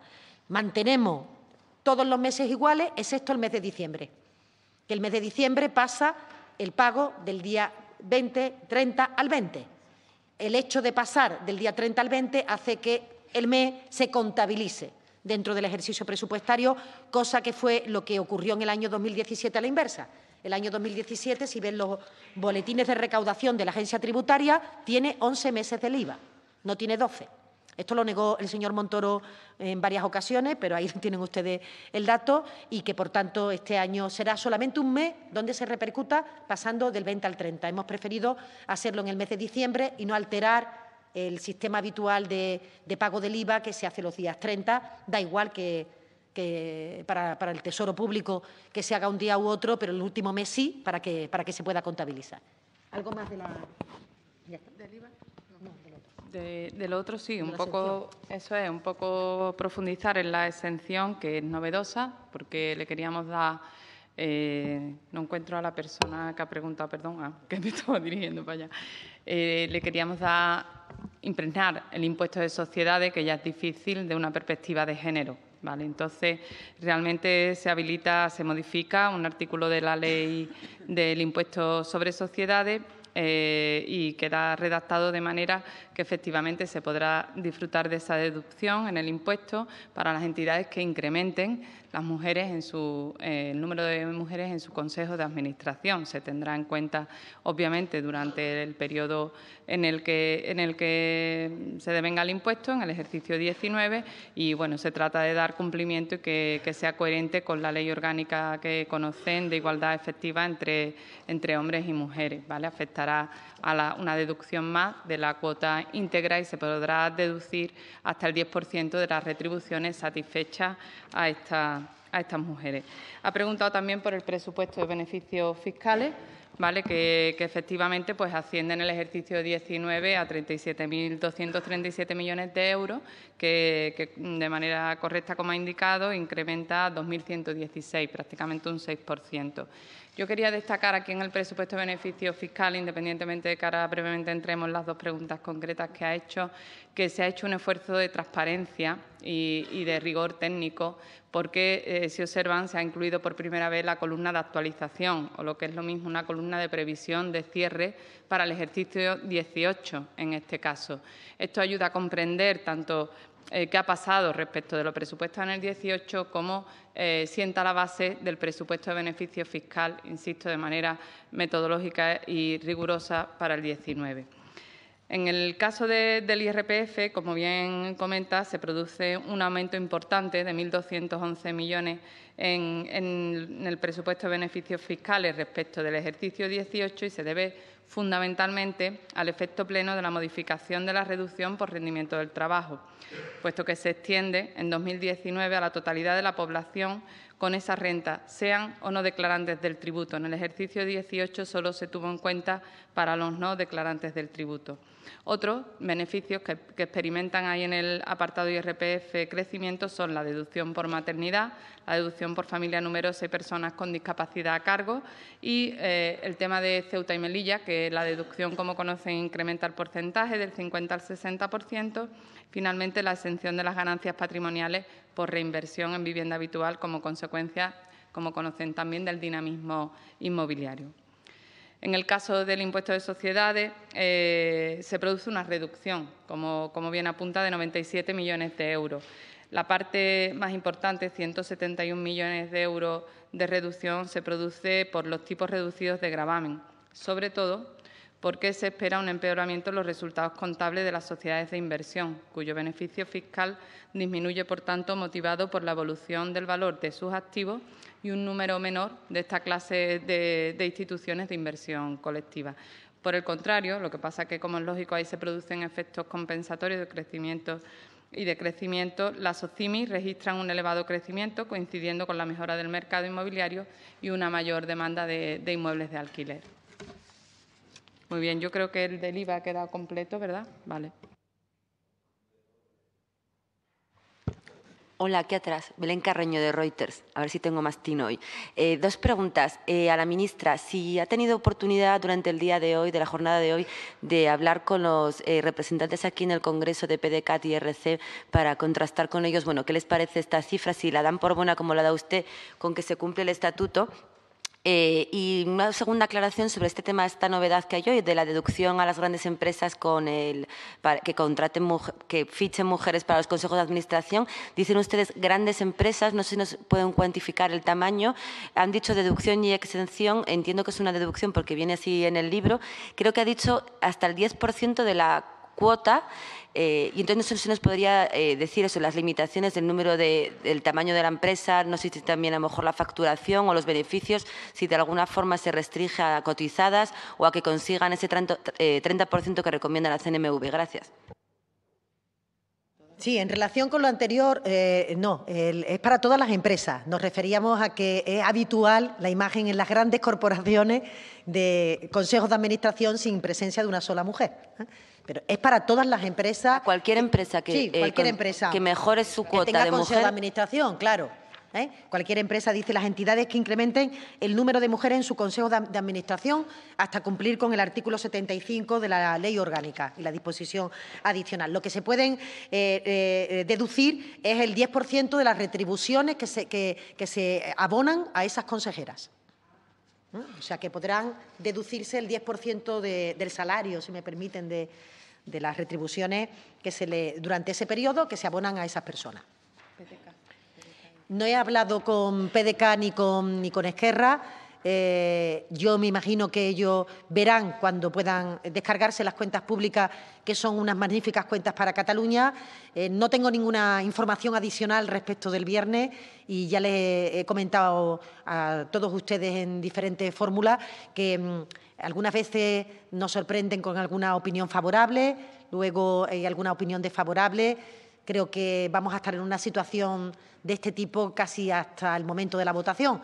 No obstante, me va a permitir esta pregunta que yo siga haciendo un llamamiento a Partido Popular y a Ciudadanos y que haga un llamamiento expreso a Ciudadanos. Hay muchas medidas que se contemplan en este presupuesto que antaño fueron objeto de acuerdo y de petición por parte de Ciudadanos y esto eh, creo que tiene que hacer pensar que eh, la formación naranja debería de al menos abstenerse si no quiere apoyar las cuentas públicas para permitir su tramitación. Y yo creo que ninguna fuerza política que realmente eh, quiera el bienestar de este país se puede sustraer de apoyar estas cuentas públicas y si lo hace es por, por- puro interés electoralista y además desde mi punto de vista erróneo. ¿eh? Yo insisto siempre en que apoyar las cuentas no es apoyar al Gobierno de Sánchez. Apoyar las cuentas es eh, eh, dar un paso adelante hacia la política para que los ciudadanos recuperen confianza en las instituciones y para que seamos capaces de ser útiles a la vida cotidiana de la gente, con independencia de que esté en el Gobierno una formación política u otra. Todos los partidos políticos deberíamos, al menos en lo básico, de ponernos de acuerdo y hay todo un periodo de tramitación para conseguir ponernos de acuerdo en aquellas partidas en las que ciudadano, por ejemplo, quisiera mejorar. Así que mi llamada es también para Partido Popular y sobre todo para Ciudadanos. Sí, aquí Daniel Viña del Mundo. Precisamente esas formaciones eh, han criticado que las cuentas son electoralistas y que, en términos de ingresos, que podrían ser eh, demasiado optimistas, más allá de las nuevas figuras, que la evolución de los ingresos pues, podría ser demasiado optimista. Me gustaría, por favor, que hiciese una reflexión sobre este punto. Gracias. Sí, eh, justamente el- la pregunta en la dirección que usted formula, la previsión de, crecimiento económico que tienen estas cuentas públicas son eh, más moderadas que las que hacía el señor Montoro. Y a mí me llama siempre la atención la incoherencia que plantean algunas formaciones políticas eh, cuando um, hay este tipo de cuestión. ¿no? La desviación media, para que tengan el dato, de las previsiones frente a la liquidación que han experimentado los presupuestos eh, del Partido Popular ha sido de 5.100 millones de euros. Si ustedes cogen presupuestos iniciales, previsión de ingresos tributarios eh, o de ingresos del Estado y ingresos liquidados, ha habido una desviación de 5.100 millones de euros de media en los presupuestos del señor Montoro. En algunas ocasiones más de 7.000 millones de media. Eh, la, media, además, baja eh, por motivo de que sea el, último año, el año 18, ha tenido una previsión más ajustada que los años, que los años anteriores. El año pasado se recaudaron 2.400 millones menos de lo previsto en materia de, ingreso tributario. Y, fundamentalmente, esa menor desviación se produjo en el segundo semestre del año 2018, es decir, desde la llegada al Gobierno del señor Sánchez. Eh, esto, desde mi punto de vista, es un dato a tener en cuenta, importante para poder hacer una comparativa eh, de, todos los, presupuestos. La subida media de los ingresos tributarios del señor Montoro fue del 7,1%. En nuestro presupuesto, si excluimos el IVA, es un 7,3%. Por tanto, es una previsión absolutamente homogénea, en términos homogéneos de, la que se producía, teniendo en cuenta que aumentamos o que mejoramos las subidas fiscales, las presiones fiscales. Es decir, el señor Montoro subía la previsión de ingreso un 7% bajando los impuestos. Nosotros subimos, eh, hacemos la previsión un 7%, eh, creando nuevas figuras tributarias y modificando los impuestos. Entenderá usted que el presupuesto de ingresos de este Gobierno es más creíble que los que existían en años anteriores y, por tanto, nuestra previsión creemos que está ajustada en esa dirección.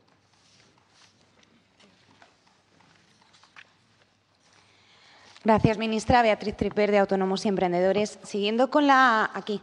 Eh, eh, siguiendo eh, con, la pregunta que apuntaba el compañero de la razón respecto al tema del, del diésel, ha dicho que no afectará al sector del transporte, pero en este sentido a mí me surge la duda de si no va a afectar a incluso al sector del transporte ligero, porque ahora mismo hay una serie de limitaciones eh, respecto al tema de las, eh, de las bonificaciones por gasóleo profesional. Y también me gustaría saber si eh, el, resto de autónomos que utilizan el, vehículo como, para su uso a nivel profesional, como pueden ser los agentes comerciales, como pueden ser visitadores médicos, van a poder también beneficiarse de ese tipo de bonificaciones que se aplica al gasóleo profesional. Y luego, por otra parte, quería preguntarle respecto al cese de actividad. En la página 293 se indica que las prestaciones eh, van a ascender a 105 millones de euros, pero que ahí está incluido tanto eh, lo que es la prestación por cese de actividad como tal, como eh, la incapacidad temporal. Me gustaría saber si se puede eso, si hay algún desglose de cuánto va a corresponder al cese de actividad como tal y cuánto a incapacidad temporal. Gracias. Sí. en relación con la, primera cuestión, eh, queda excluido el gasóleo profesional, con independencia de cuál sea el sector que lo utilice. Eh, por tanto, todas las personas, incluidos los agrícolas, todas las personas que utilicen ese tipo de combustible queda excluido. Y le comentaba que evidentemente no hay en este momento un registro en la agencia tributaria que permita discriminar cuando una persona hace uso de su vehículo o no en función de su trabajo y que se había iniciado una línea de trabajo de la propia agencia tributaria. A esta cuestión contesté el miércoles, en estos, perdón, el, viernes, en estos términos, eh, para, ir, eh, para ir viendo si es posible discriminar en determinado sector empresarial o en determinados colectivos el uso del transporte eh, indiferenciado si no utiliza gasóleo profesional. Entenderá que es una medida, claro que sería mm, difícil de controlar cuando una persona coge el vehículo para su vida cotidiana o cuando lo hace para su trabajo y, por tanto, se están estudiando si hay fórmulas eh, para permitir monitorizar esa actividad sin que dé lugar al fraude. ¿eh? Pero el gasóleo profesional es en, en todas las medidas. ¿Y la parte de la pregunta?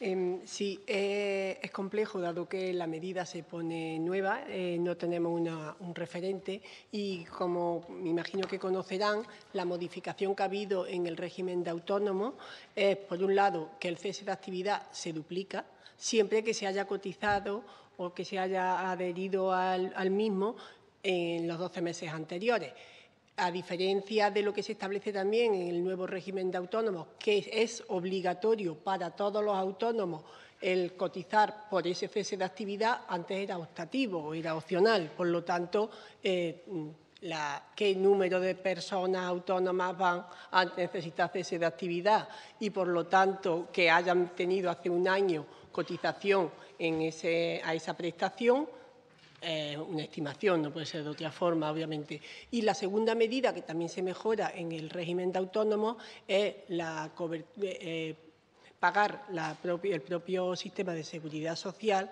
las cuotas cuando el autónomo está en incapacidad temporal a partir del 61 día, o sea, dos meses de baja a partir de ese día. También es una estimación que desconocemos qué personas van a entrar en esa situación de incapacidad. Entonces, se ha hecho una estimación según las referencias anteriores y por eso es global el incremento.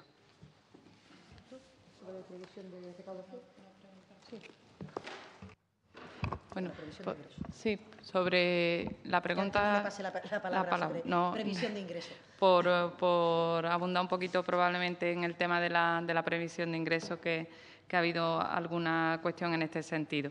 Aunque efectivamente el, el PIB en términos reales eh, desciende en su previsión, pero sin embargo cuando observamos los agregados nominales, que son realmente lo importante para el cálculo de la evolución de, la evolución de los ingresos, el perfil de comportamiento es distinto y esto es importante. Es decir, el PIB nominal para 2019 crece y lo hace porque van a crecer los precios y porque crecen las remuneraciones de los asalariados.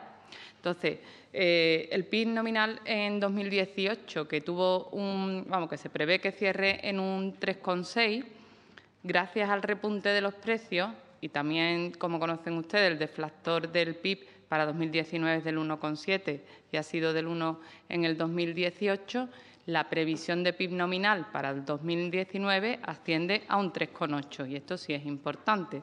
Eh, por otro lado, si, miramos el comportamiento de la demanda interna, en el caso de 2019 tenemos una previsión del 4,1, muy similar a la previsión que se hizo en 2018 de un 4,2.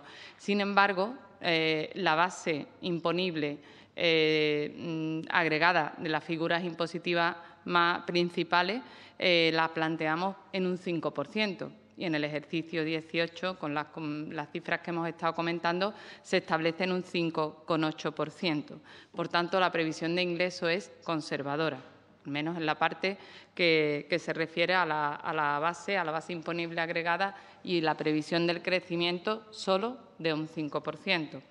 Es verdad, como, comentaba efectivamente eh, la ministra, que analizando y considerando el periodo 14-18, eh, los ingresos, ha habido siempre una previsión de ingresos con un crecimiento medio en ese periodo respecto al cierre del ejercicio anterior de un 7,1%. El porcentaje, sin embargo, de cumplimiento de esa previsión ha estado en un 97,4%. Si le quitamos a esa, previsión de cumplimiento del 97,4 el ejercicio 18, como indicaba la ministra, que ha tenido un comportamiento mejor, además debido especialmente al segundo semestre, pues se nos va la desviación a un 97, con una media de, de desviación importantísima por debajo de los ingresos previstos de 5.100, si tenemos en cuenta eh, todo el periodo y de 5.787 si no lo tenemos, así excluimos el año 18. Hay ejercicios, fíjense, que eh, en concreto 16 y el 17, donde la previsión de ingresos se incumple por 7.000 millones de euros.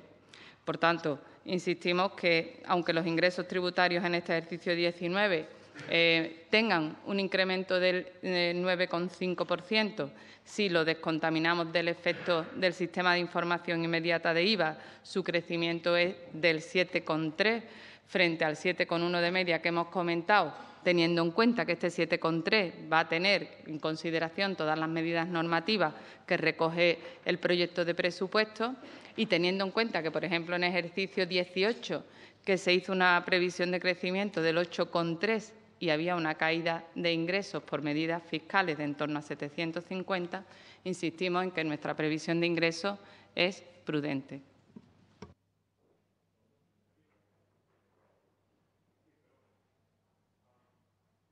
Ahora, sí, Domingo Soriano, Libertad Digital. Yo tenía dos preguntas sobre eh, seguridad social, porque han dicho que el déficit iba a ser de 19.000 millones a cierre de ejercicio eh, han dicho 19.000 millones, pero en el presupuesto del año pasado eran 17.000 millones, eran 131.000, 148.000. Entonces era si nos podían dar las cifras del, cierre, cierre provisional, no sé, lo entiendo, pero cuáles son las cifras de ingresos y gastos y dónde se ha, dónde ha habido la diferencia, si han sido en las cotizaciones o en el, el pago de prestaciones. Y luego la segunda respecto a la seguridad social y sobre el fondo de reserva. En noviembre quedaban unos 5.000 millones, creo, después de la última, de, la última mm, eh, necesidad que hubo de sacar dinero. Se prevén 3.700 millones más, quedan 1.000 millones. Y la pregunta es, ¿tiene algún sentido dejar 1.000 millones en el fondo de reserva? Quiero decir, el fondo de reserva se suponía que era una hucha para los malos momentos, para asegurar el pago de las prestaciones. Está claro que mil millones de euros no, no asegura nada, es una parte mínima de cualquier prestación mensual. Entonces, más allá de la cuestión política de no decir que se cierra la hucha de las pensiones, ¿qué, sentido tiene? Gracias. Bueno, yo diría que la situación de, de, la sostenibilidad de la seguridad social es una de las principales preocupaciones de este Gobierno y, por tanto, no se trata de una frase que la frase, como usted bien dice, no tiene ningún tipo de, interés. Se trata realmente de que podamos hacer un punto de inflexión en la sostenibilidad de las cuentas a partir de las recomendaciones que vengan de la mano del consenso del Pacto de Toledo, que permitan ir y caminar en la dirección. Yo decía el viernes que apunta también el informe de la IREF de que eh, se vayan descargando a la Seguridad Social de la financiación de determinadas prestaciones que corresponden o que podrían corresponder en mejor medida a los presupuestos generales del Estado. El ejemplo que pongo siempre cuando hablo de esto es de, de las prestaciones por permiso de paternidad-maternidad que son un volumen importante y que tendrían que ser, desde mi punto de vista, asumidas por el Estado, si es que así lo considera el Pacto de Toledo, una vez que emita las recomendaciones relativas relativa a esta cuestión. Le comenté al principio de mi intervención que el secretario de Estado de Seguridad Social va a hacer la rueda de prensa para permitir conocer todos los datos de seguridad social que se den por mucho, ¿no? Eh, pararnos en esa política toda la, toda, la, toda la rueda de prensa. Lo que sí le, puedo decir es que el cambio de senda eh, ha llevado y ha conllevado, entre otras razones, que haya que utilizar fondos de reserva de seguridad social en relación con las previsiones iniciales. Esto significa que, claro, que el hecho de que la Seguridad Social no cuente con dos décimas de déficit tiene que ser corregido con otras medidas que, desde nuestro punto de vista, no eran las adecuadas ni las convenientes, pero que es el único resorte que tiene el Gobierno para poder adelantarlo. Eh, nosotros utilizaremos menos dinero del Fondo de Reserva, del que se utilizó eh, previamente, pero es evidente que para compensar esas cuentas ha habido que, utilizar parte del Fondo de Reserva. ¿Tienen alguna ¿Alguna cifra que tú quieras proporcionar? Sí, sobre todo aclarar el, hecho de que en el presupuesto del 2018, efectivamente, eh, presentaron eh, el Ejecutivo anterior unas cuentas en las que se preveía un saldo presupuestario de déficit de la Seguridad Social, pues sí, de unos 17.300 millones. Eh, a mí creo que deberíamos de recordar cómo se construyeron las cuentas de Seguridad Social en el ejercicio 2018.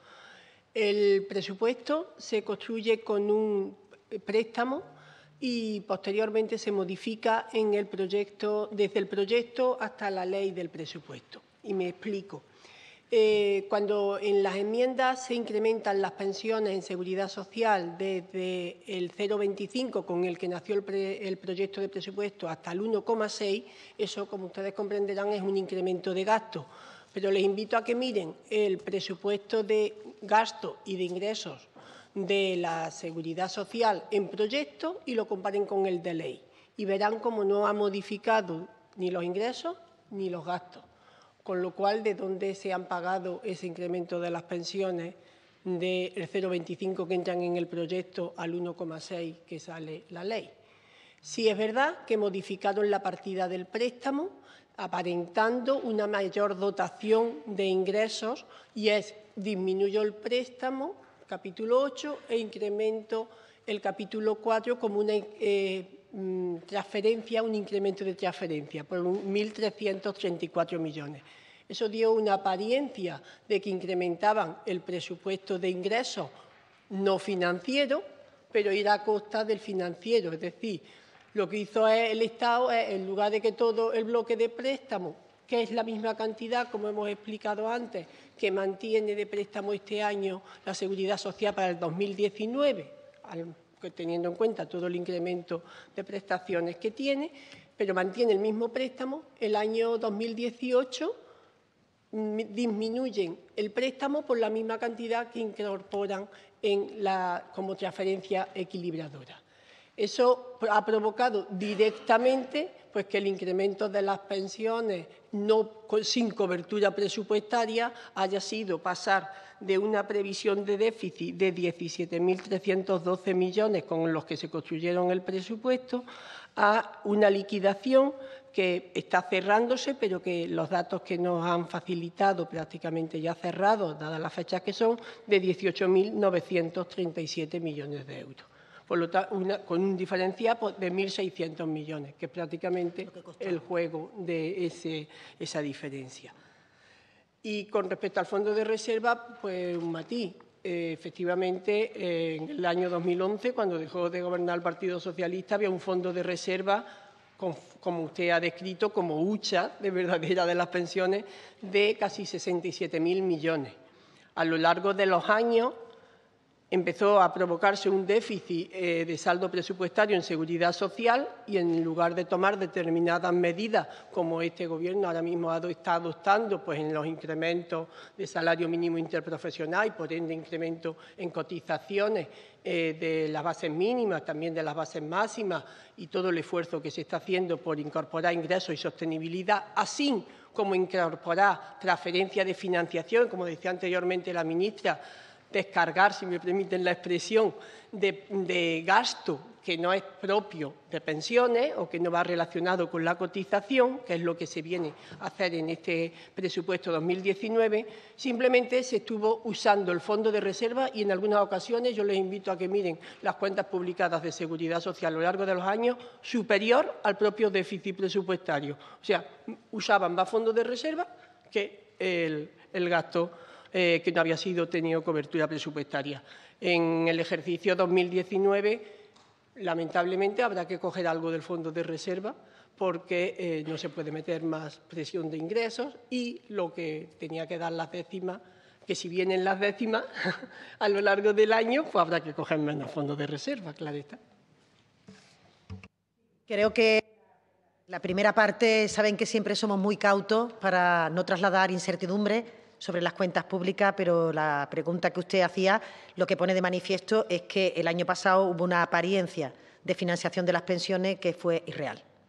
Y que los 15.000 millones del préstamo, que si ustedes lo comparan con el presupuesto que salió de esta Cámara, puede dar una apariencia de que este año es superior, es que era una trampa, era, una cosa irreal, vamos a decirlo así, porque lo que hicieron es no aportaron recursos adicionales, sino que el préstamo lo rompieron, si me permiten, y dijeron 13.000 millones de endeudamiento, 1.300 millones de una transferencia para lo que el Estado se endeudaba.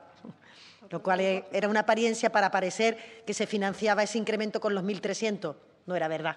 Le ha faltado a la Seguridad Social ese, volumen de ingresos que no se conseguía porque no se, porque no se mantuvo el préstamo como estaba. Claro, se trataba de ingresar más dinero y no contrario. Se lo digo a efectos de la comparativa del préstamo de este año con el préstamo del año pasado, que tengan ustedes en cuenta este artefacto, porque el préstamo del año pasado en realidad fue de 15.000 millones de euros y la transferencia en realidad fue cero.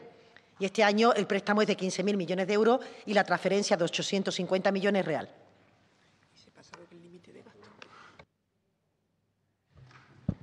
Sí, aquí.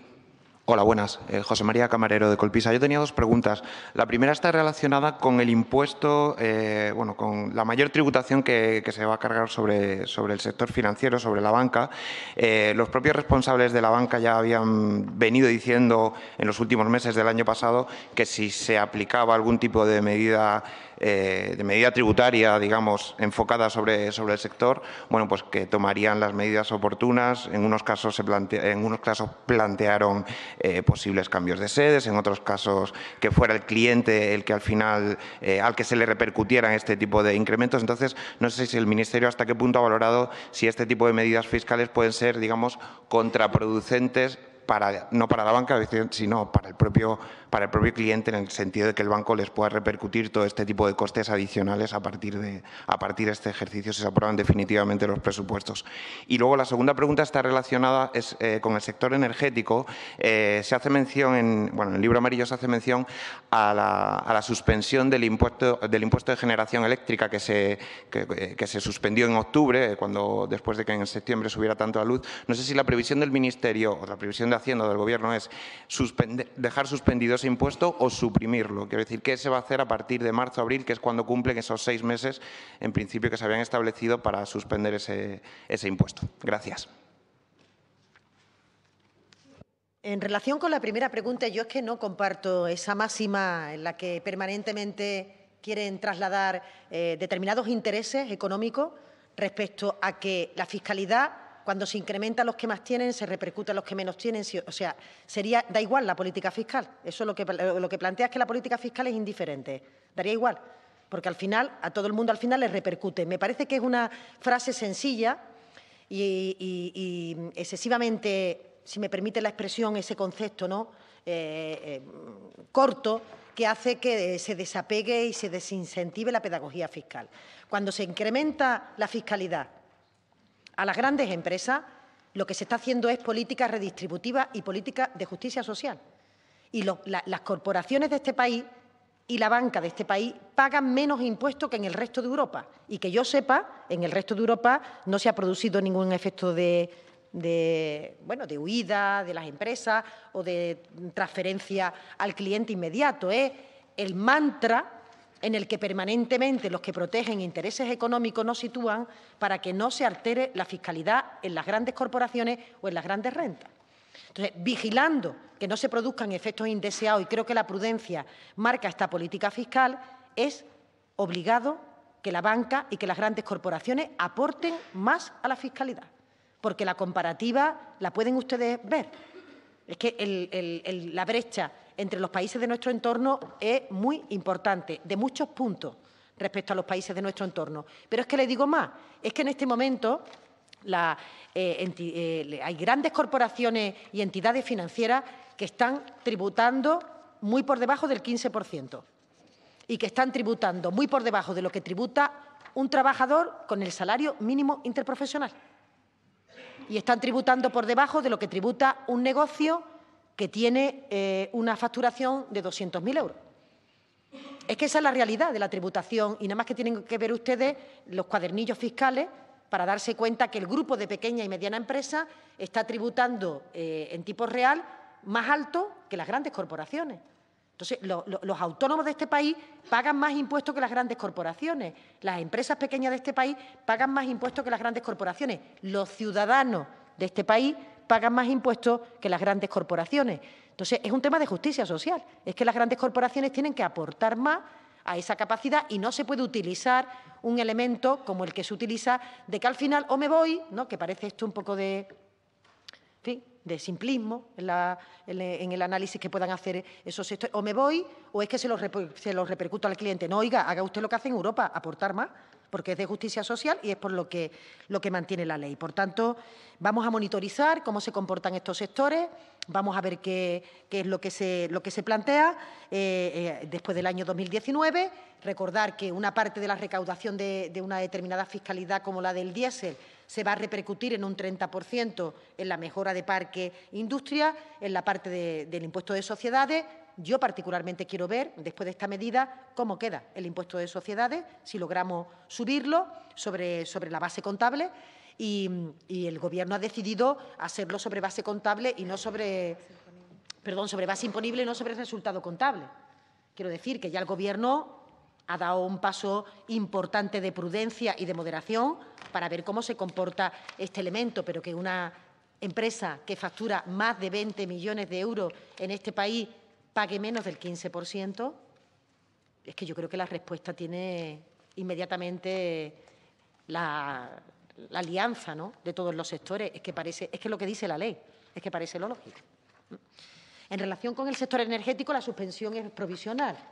es temporal hasta que eh, Transición Energética presente eh, el, trabajo que está haciendo en relación con, todo lo que implica el, consumo eléctrico, la factura de la luz, los beneficios, la subasta de emisiones, toda esa parte que se dio un tiempo hasta el mes de marzo-abril, un trimestre, ¿no? Eh, y por tanto está temporalmente suspendido en el momento en que, en que eh, haya un nuevo esquema de trabajo en materia de cálculo de, eh, la energía de este país, habrá, se activará o lo que plantee ese acuerdo, ese marco, lo que, lo que, lo que plantee esa ley, porque probablemente de lo que se trata es de una ley que tendrá que contar con el consenso de este Parlamento y que, por tanto, lo que se haga en el marco de esa ley eh, dará lugar a la suspensión definitiva o a la, o a la, modificación del impuesto. Por ahora está prudentemente suspendido como, di, como se aprobó en el decreto ley. Sí, aquí. Hola, soy Juan de Portillo del diario Cinco Días. Yo tenía varias cuestiones. En primer lugar, han comentado la, el planteamiento que tiene el Gobierno de trasladar a las comunidades autónomas esa mejora de las condiciones de financiación. Quería saber cómo tienen en mente realizarlo, si tienen pensado que el Tesoro emita por ellas o cuáles son los mecanismos que están analizando. Por otro lado, me gustaría pedirles algo más de detalle sobre esa transferencia de 850 millones a la Seguridad Social. Quería saber si se corresponde directamente con la recaudación estimada de, la nueva tasa sobre transacciones financieras y, en ese caso, si va a ir ligada a la recaudación real o si la cifra de 850 millones es, es incuestionable. Además, quería pedirles que nos aclaren cuáles son los factores que hacen que que la recaudación de la fiscalidad medioambiental caiga un 43% en la previsión que hacen de ingresos del año. Y finalmente quería saber cuáles son las previsiones que tienen de impacto en el PIB y de cierre de déficit de este año en el caso de que las cuentas no salieran adelante y nos mantuviésemos en la prórroga presupuestaria con las cuentas heredadas de, de 2018. Gracias.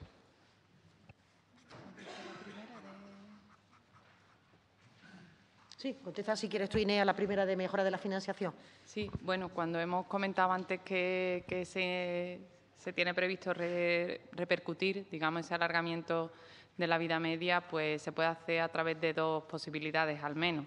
Eh, dentro del mismo marco de, de, los mecanismos de liquidez, tanto de FLA como de facilidad financiera, existe la posibilidad, porque actualmente se está haciendo se está transponiendo una, duración muy, muy pequeña, mm, con dos años de carencia, pero un, plazo de cuatro o cinco años, esas condiciones, al firmar el contrato de facilidad o de, o FLA, se pueden alargar, o sea, se puede eh, llevar las ventajas de la financiación que está obteniendo Tesoro al financiarse en el mercado a la financiación de las comunidades autónomas por los mecanismos de liquidez ya existentes. También se pueden y se están analizando, de hecho, otras posibilidades de, bueno, pues de acompañamiento de algunas comunidades que tienen unos volúmenes de deuda importantes para, analizarlos y ver posibilidades pues de, de aplanar esos vencimientos tan importantes que hay en los cuatro próximos años y estudiar posibilidades, con lo cual también permitiría ese alargamiento temporal al que alude. Sí, en relación con la transferencia a Seguridad Social es una transferencia, no está afectada por nada. 850 millones de euros coincide con la cifra de, la recaudación del impuesto, pero es una transferencia como tal que, permite la sostenibilidad del sistema en, el futuro. En relación con la fiscalidad medioambiental cae justamente por la suspensión del impuesto que, comentábamos anteriormente de electricidad. Ahora, si no, eh, no obstante, la secretaria de Estado puede darle alguna. Y la prórroga presupuestaria eh, nos llevaría a una previsión de déficit que se mueve en este momento en torno al 2,2-2,4. Estamos en, una previsión que puede estar en este entorno, quizá un poco más próximo del 2,4 que del 2,2, pero en el plan presupuestario que se mandó a, Bruselas, eh, con un crecimiento económico superior, se planteó al 2,2, habrá que ajustarlo en términos de, crecimiento económico, pero no está eh, actualizado, entre otras razones porque nosotros pensamos que vamos a aprobar el presupuesto. ¿eh? Pero el déficit se movería en torno al 2,2, 2,4 eh, si no se aprueba este, este, presupuesto, por lo que siempre decimos que para la zona euro, para la Unión Europea, para las autoridades europeas, es muy importante la aprobación del presupuesto y que presentemos unas cuentas públicas que finalmente vean la luz, porque si no el déficit se, se va por los gastos que vienen arrastrados de ejercicios anteriores. Tengan en cuenta que la fiscalidad que nosotros planteamos nos está permitiendo eh, atender unas mejores cifras de déficit que las que se produjeran si esa fiscalidad no viera la luz. Por tanto, eh, es una cuestión que, está supeditada. Sí, bueno, eh, ya lo ha, dicho la ministra, o sea, la variación que han visto en, los impuestos medioambientales es precisamente el del sector eléctrico, que han sido dos trimestres, pero afectan al ejercicio porque va desde el último, en cada ejercicio se imputa el último trimestre del ejercicio anterior y los tres del ejercicio corriente. Entonces, los dos trimestres caen eh, o tienen su impacto en el ejercicio 2019. Eh, por completar lo, anterior que me apuntaba la subsecretaria, efectivamente hay además medidas específicas en disposiciones adicionales, hasta tres, para los entes locales también en el impacto de, la, de, la, de, su análisis del endeudamiento para determinados entes locales que tienen aún dificultades financieras. Se, contempla en la ley la posibilidad de, reestructurar su deuda de corto plazo a largo plazo e incluso de refinanciar eh, obligaciones que tienen con, el primer mecanismo de, a proveedores, que tenía un tipo de interés muy alto, al fondo de ordenación, también con cargo al fondo de ordenación, que sería eh, de refinanciar el mecanismo anterior en préstamos bilaterales o en mercado con posibilidades de mejor tipo de interés. Y, también con, eh, ver en el ámbito del fondo de ordenación la posibilidad de, financiar deudas con la agencia tributaria o con la seguridad social, que actualmente les está suponiendo en ese ámbito los pagos fraccionados un coste superior al que podría ofertarle el fondo de ordenación. Con lo cual hay tres disposiciones adicionales que benefician en el ámbito del endeudamiento a los entes locales. Como había hablado solo de las comunidades autónomas, por esto quería completarle. Sí, y si me permiten, como han puesto mucho el énfasis en los 850 millones de la transferencia para la sostenibilidad del sistema de seguridad social, eh, me gustaría que no solamente miraran los 850, efectivamente no está afectado a ningún tipo de recaudación, sino que es una transferencia que va directamente a la seguridad social. Pero además destaca, destacarles, que lo pueden ver en el informe económico financiero, que las partidas eh, que se transfieren a la seguridad social para el sostenimiento de las mismas está creciendo. Si miran presupuesto con presupuesto, está creciendo solo un 1%, pero como hemos aclarado anteriormente que había una transferencia en el año 18 que realmente era préstamo, o sea, simplemente era el artefacto de pasar un trozo del préstamo, yo como yo, si me permiten digo, no era transferencia real, pues está creciendo las transferencias a la seguridad social a un 12,7%, porque las prestaciones que se incrementan, como ha reflejado la ministra, por ejemplo, la de prestación a las familias por hijo a cargo, tanto en el grupo de eh, pobreza severa como en el, en el que existe ahora mismo, todo el impacto que tiene se transfiere a la seguridad social su impacto la subida de complementos a mínimos, la subida de las pensiones no contributivas, todos los impactos que tienen de más gasto que tienen que hacerse cargo el Estado de ellos, se transfieren a la seguridad social. Por lo tanto, está incrementando, si quitamos el artefacto de aquella transferencia que realmente no lo era, un 12,7%, donde están incluidos los 850 millones, obviamente. Sí, buenas tardes. Em, dos cuestiones. Eh, por un lado, eh, ha comentado la, ministra de Hacienda que se va a crear una comisión de evaluación del sistema sanitario, es decir, en, el sentido de, lo que se ha privatizado o, digamos, de cómo funciona el sistema. Eh, ¿Qué busca el Gobierno con esto? ¿Hay algún tipo de norma que está buscando para que revertir, como ya ha ocurrido en alguna comunidad autónoma, lo privado hacia el sector público? Y, en segundo lugar, la Secretaría de Estado de Hacienda ha comentado que, por el hecho, obviamente, de que los nuevos impuestos no entrarán en vigor hasta que lo apruebe esta Cámara, eh, se va a compensar con menores eh, gastos en otras partidas. Eh, me gustaría saber, por ejemplo, la dependencia. ¿Cuándo entra en vigor las mejoras en dependencia? ¿El 1 de enero de 2019 o cuando entre en vigor la, norma, la ley de presupuestos? Gracias. Sí, en relación con la, con la primera parte, forma parte del acuerdo con Podemos el crear el grupo de trabajo que, eh, analice eh, los lugares donde todavía existe una privatización del sistema sanitario.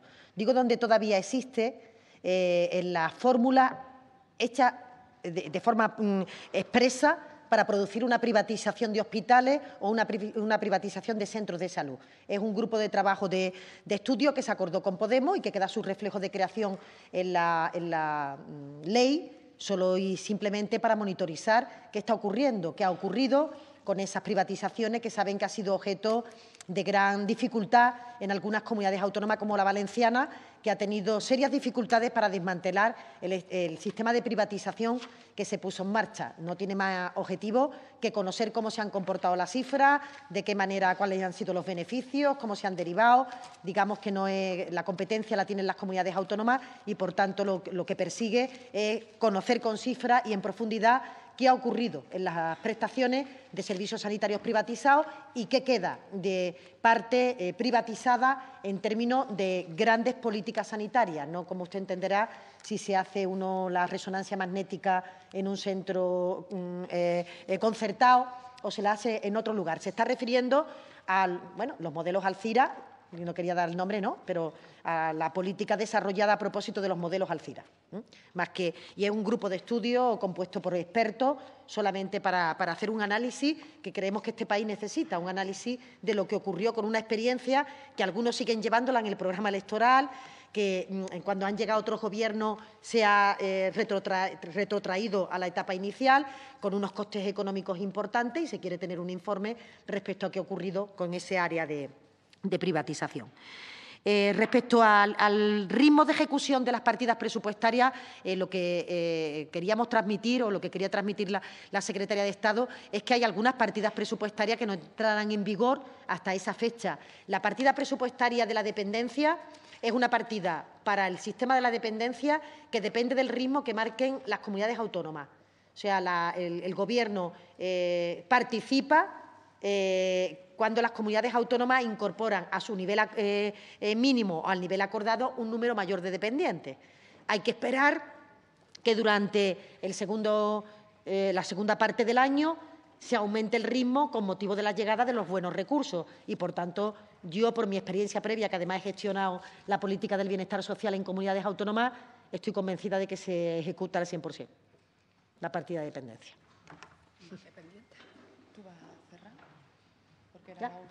Pues muchas gracias por su atención y antes de terminar sí quiero darle gracias, las gracias a mi equipo de trabajo sin los cuales hubiera sido imposible llegar allí, especialmente a las mujeres que están en esta mesa y que son el alma del, del Ministerio de Hacienda y que son el alma también de este presupuesto. Gracias.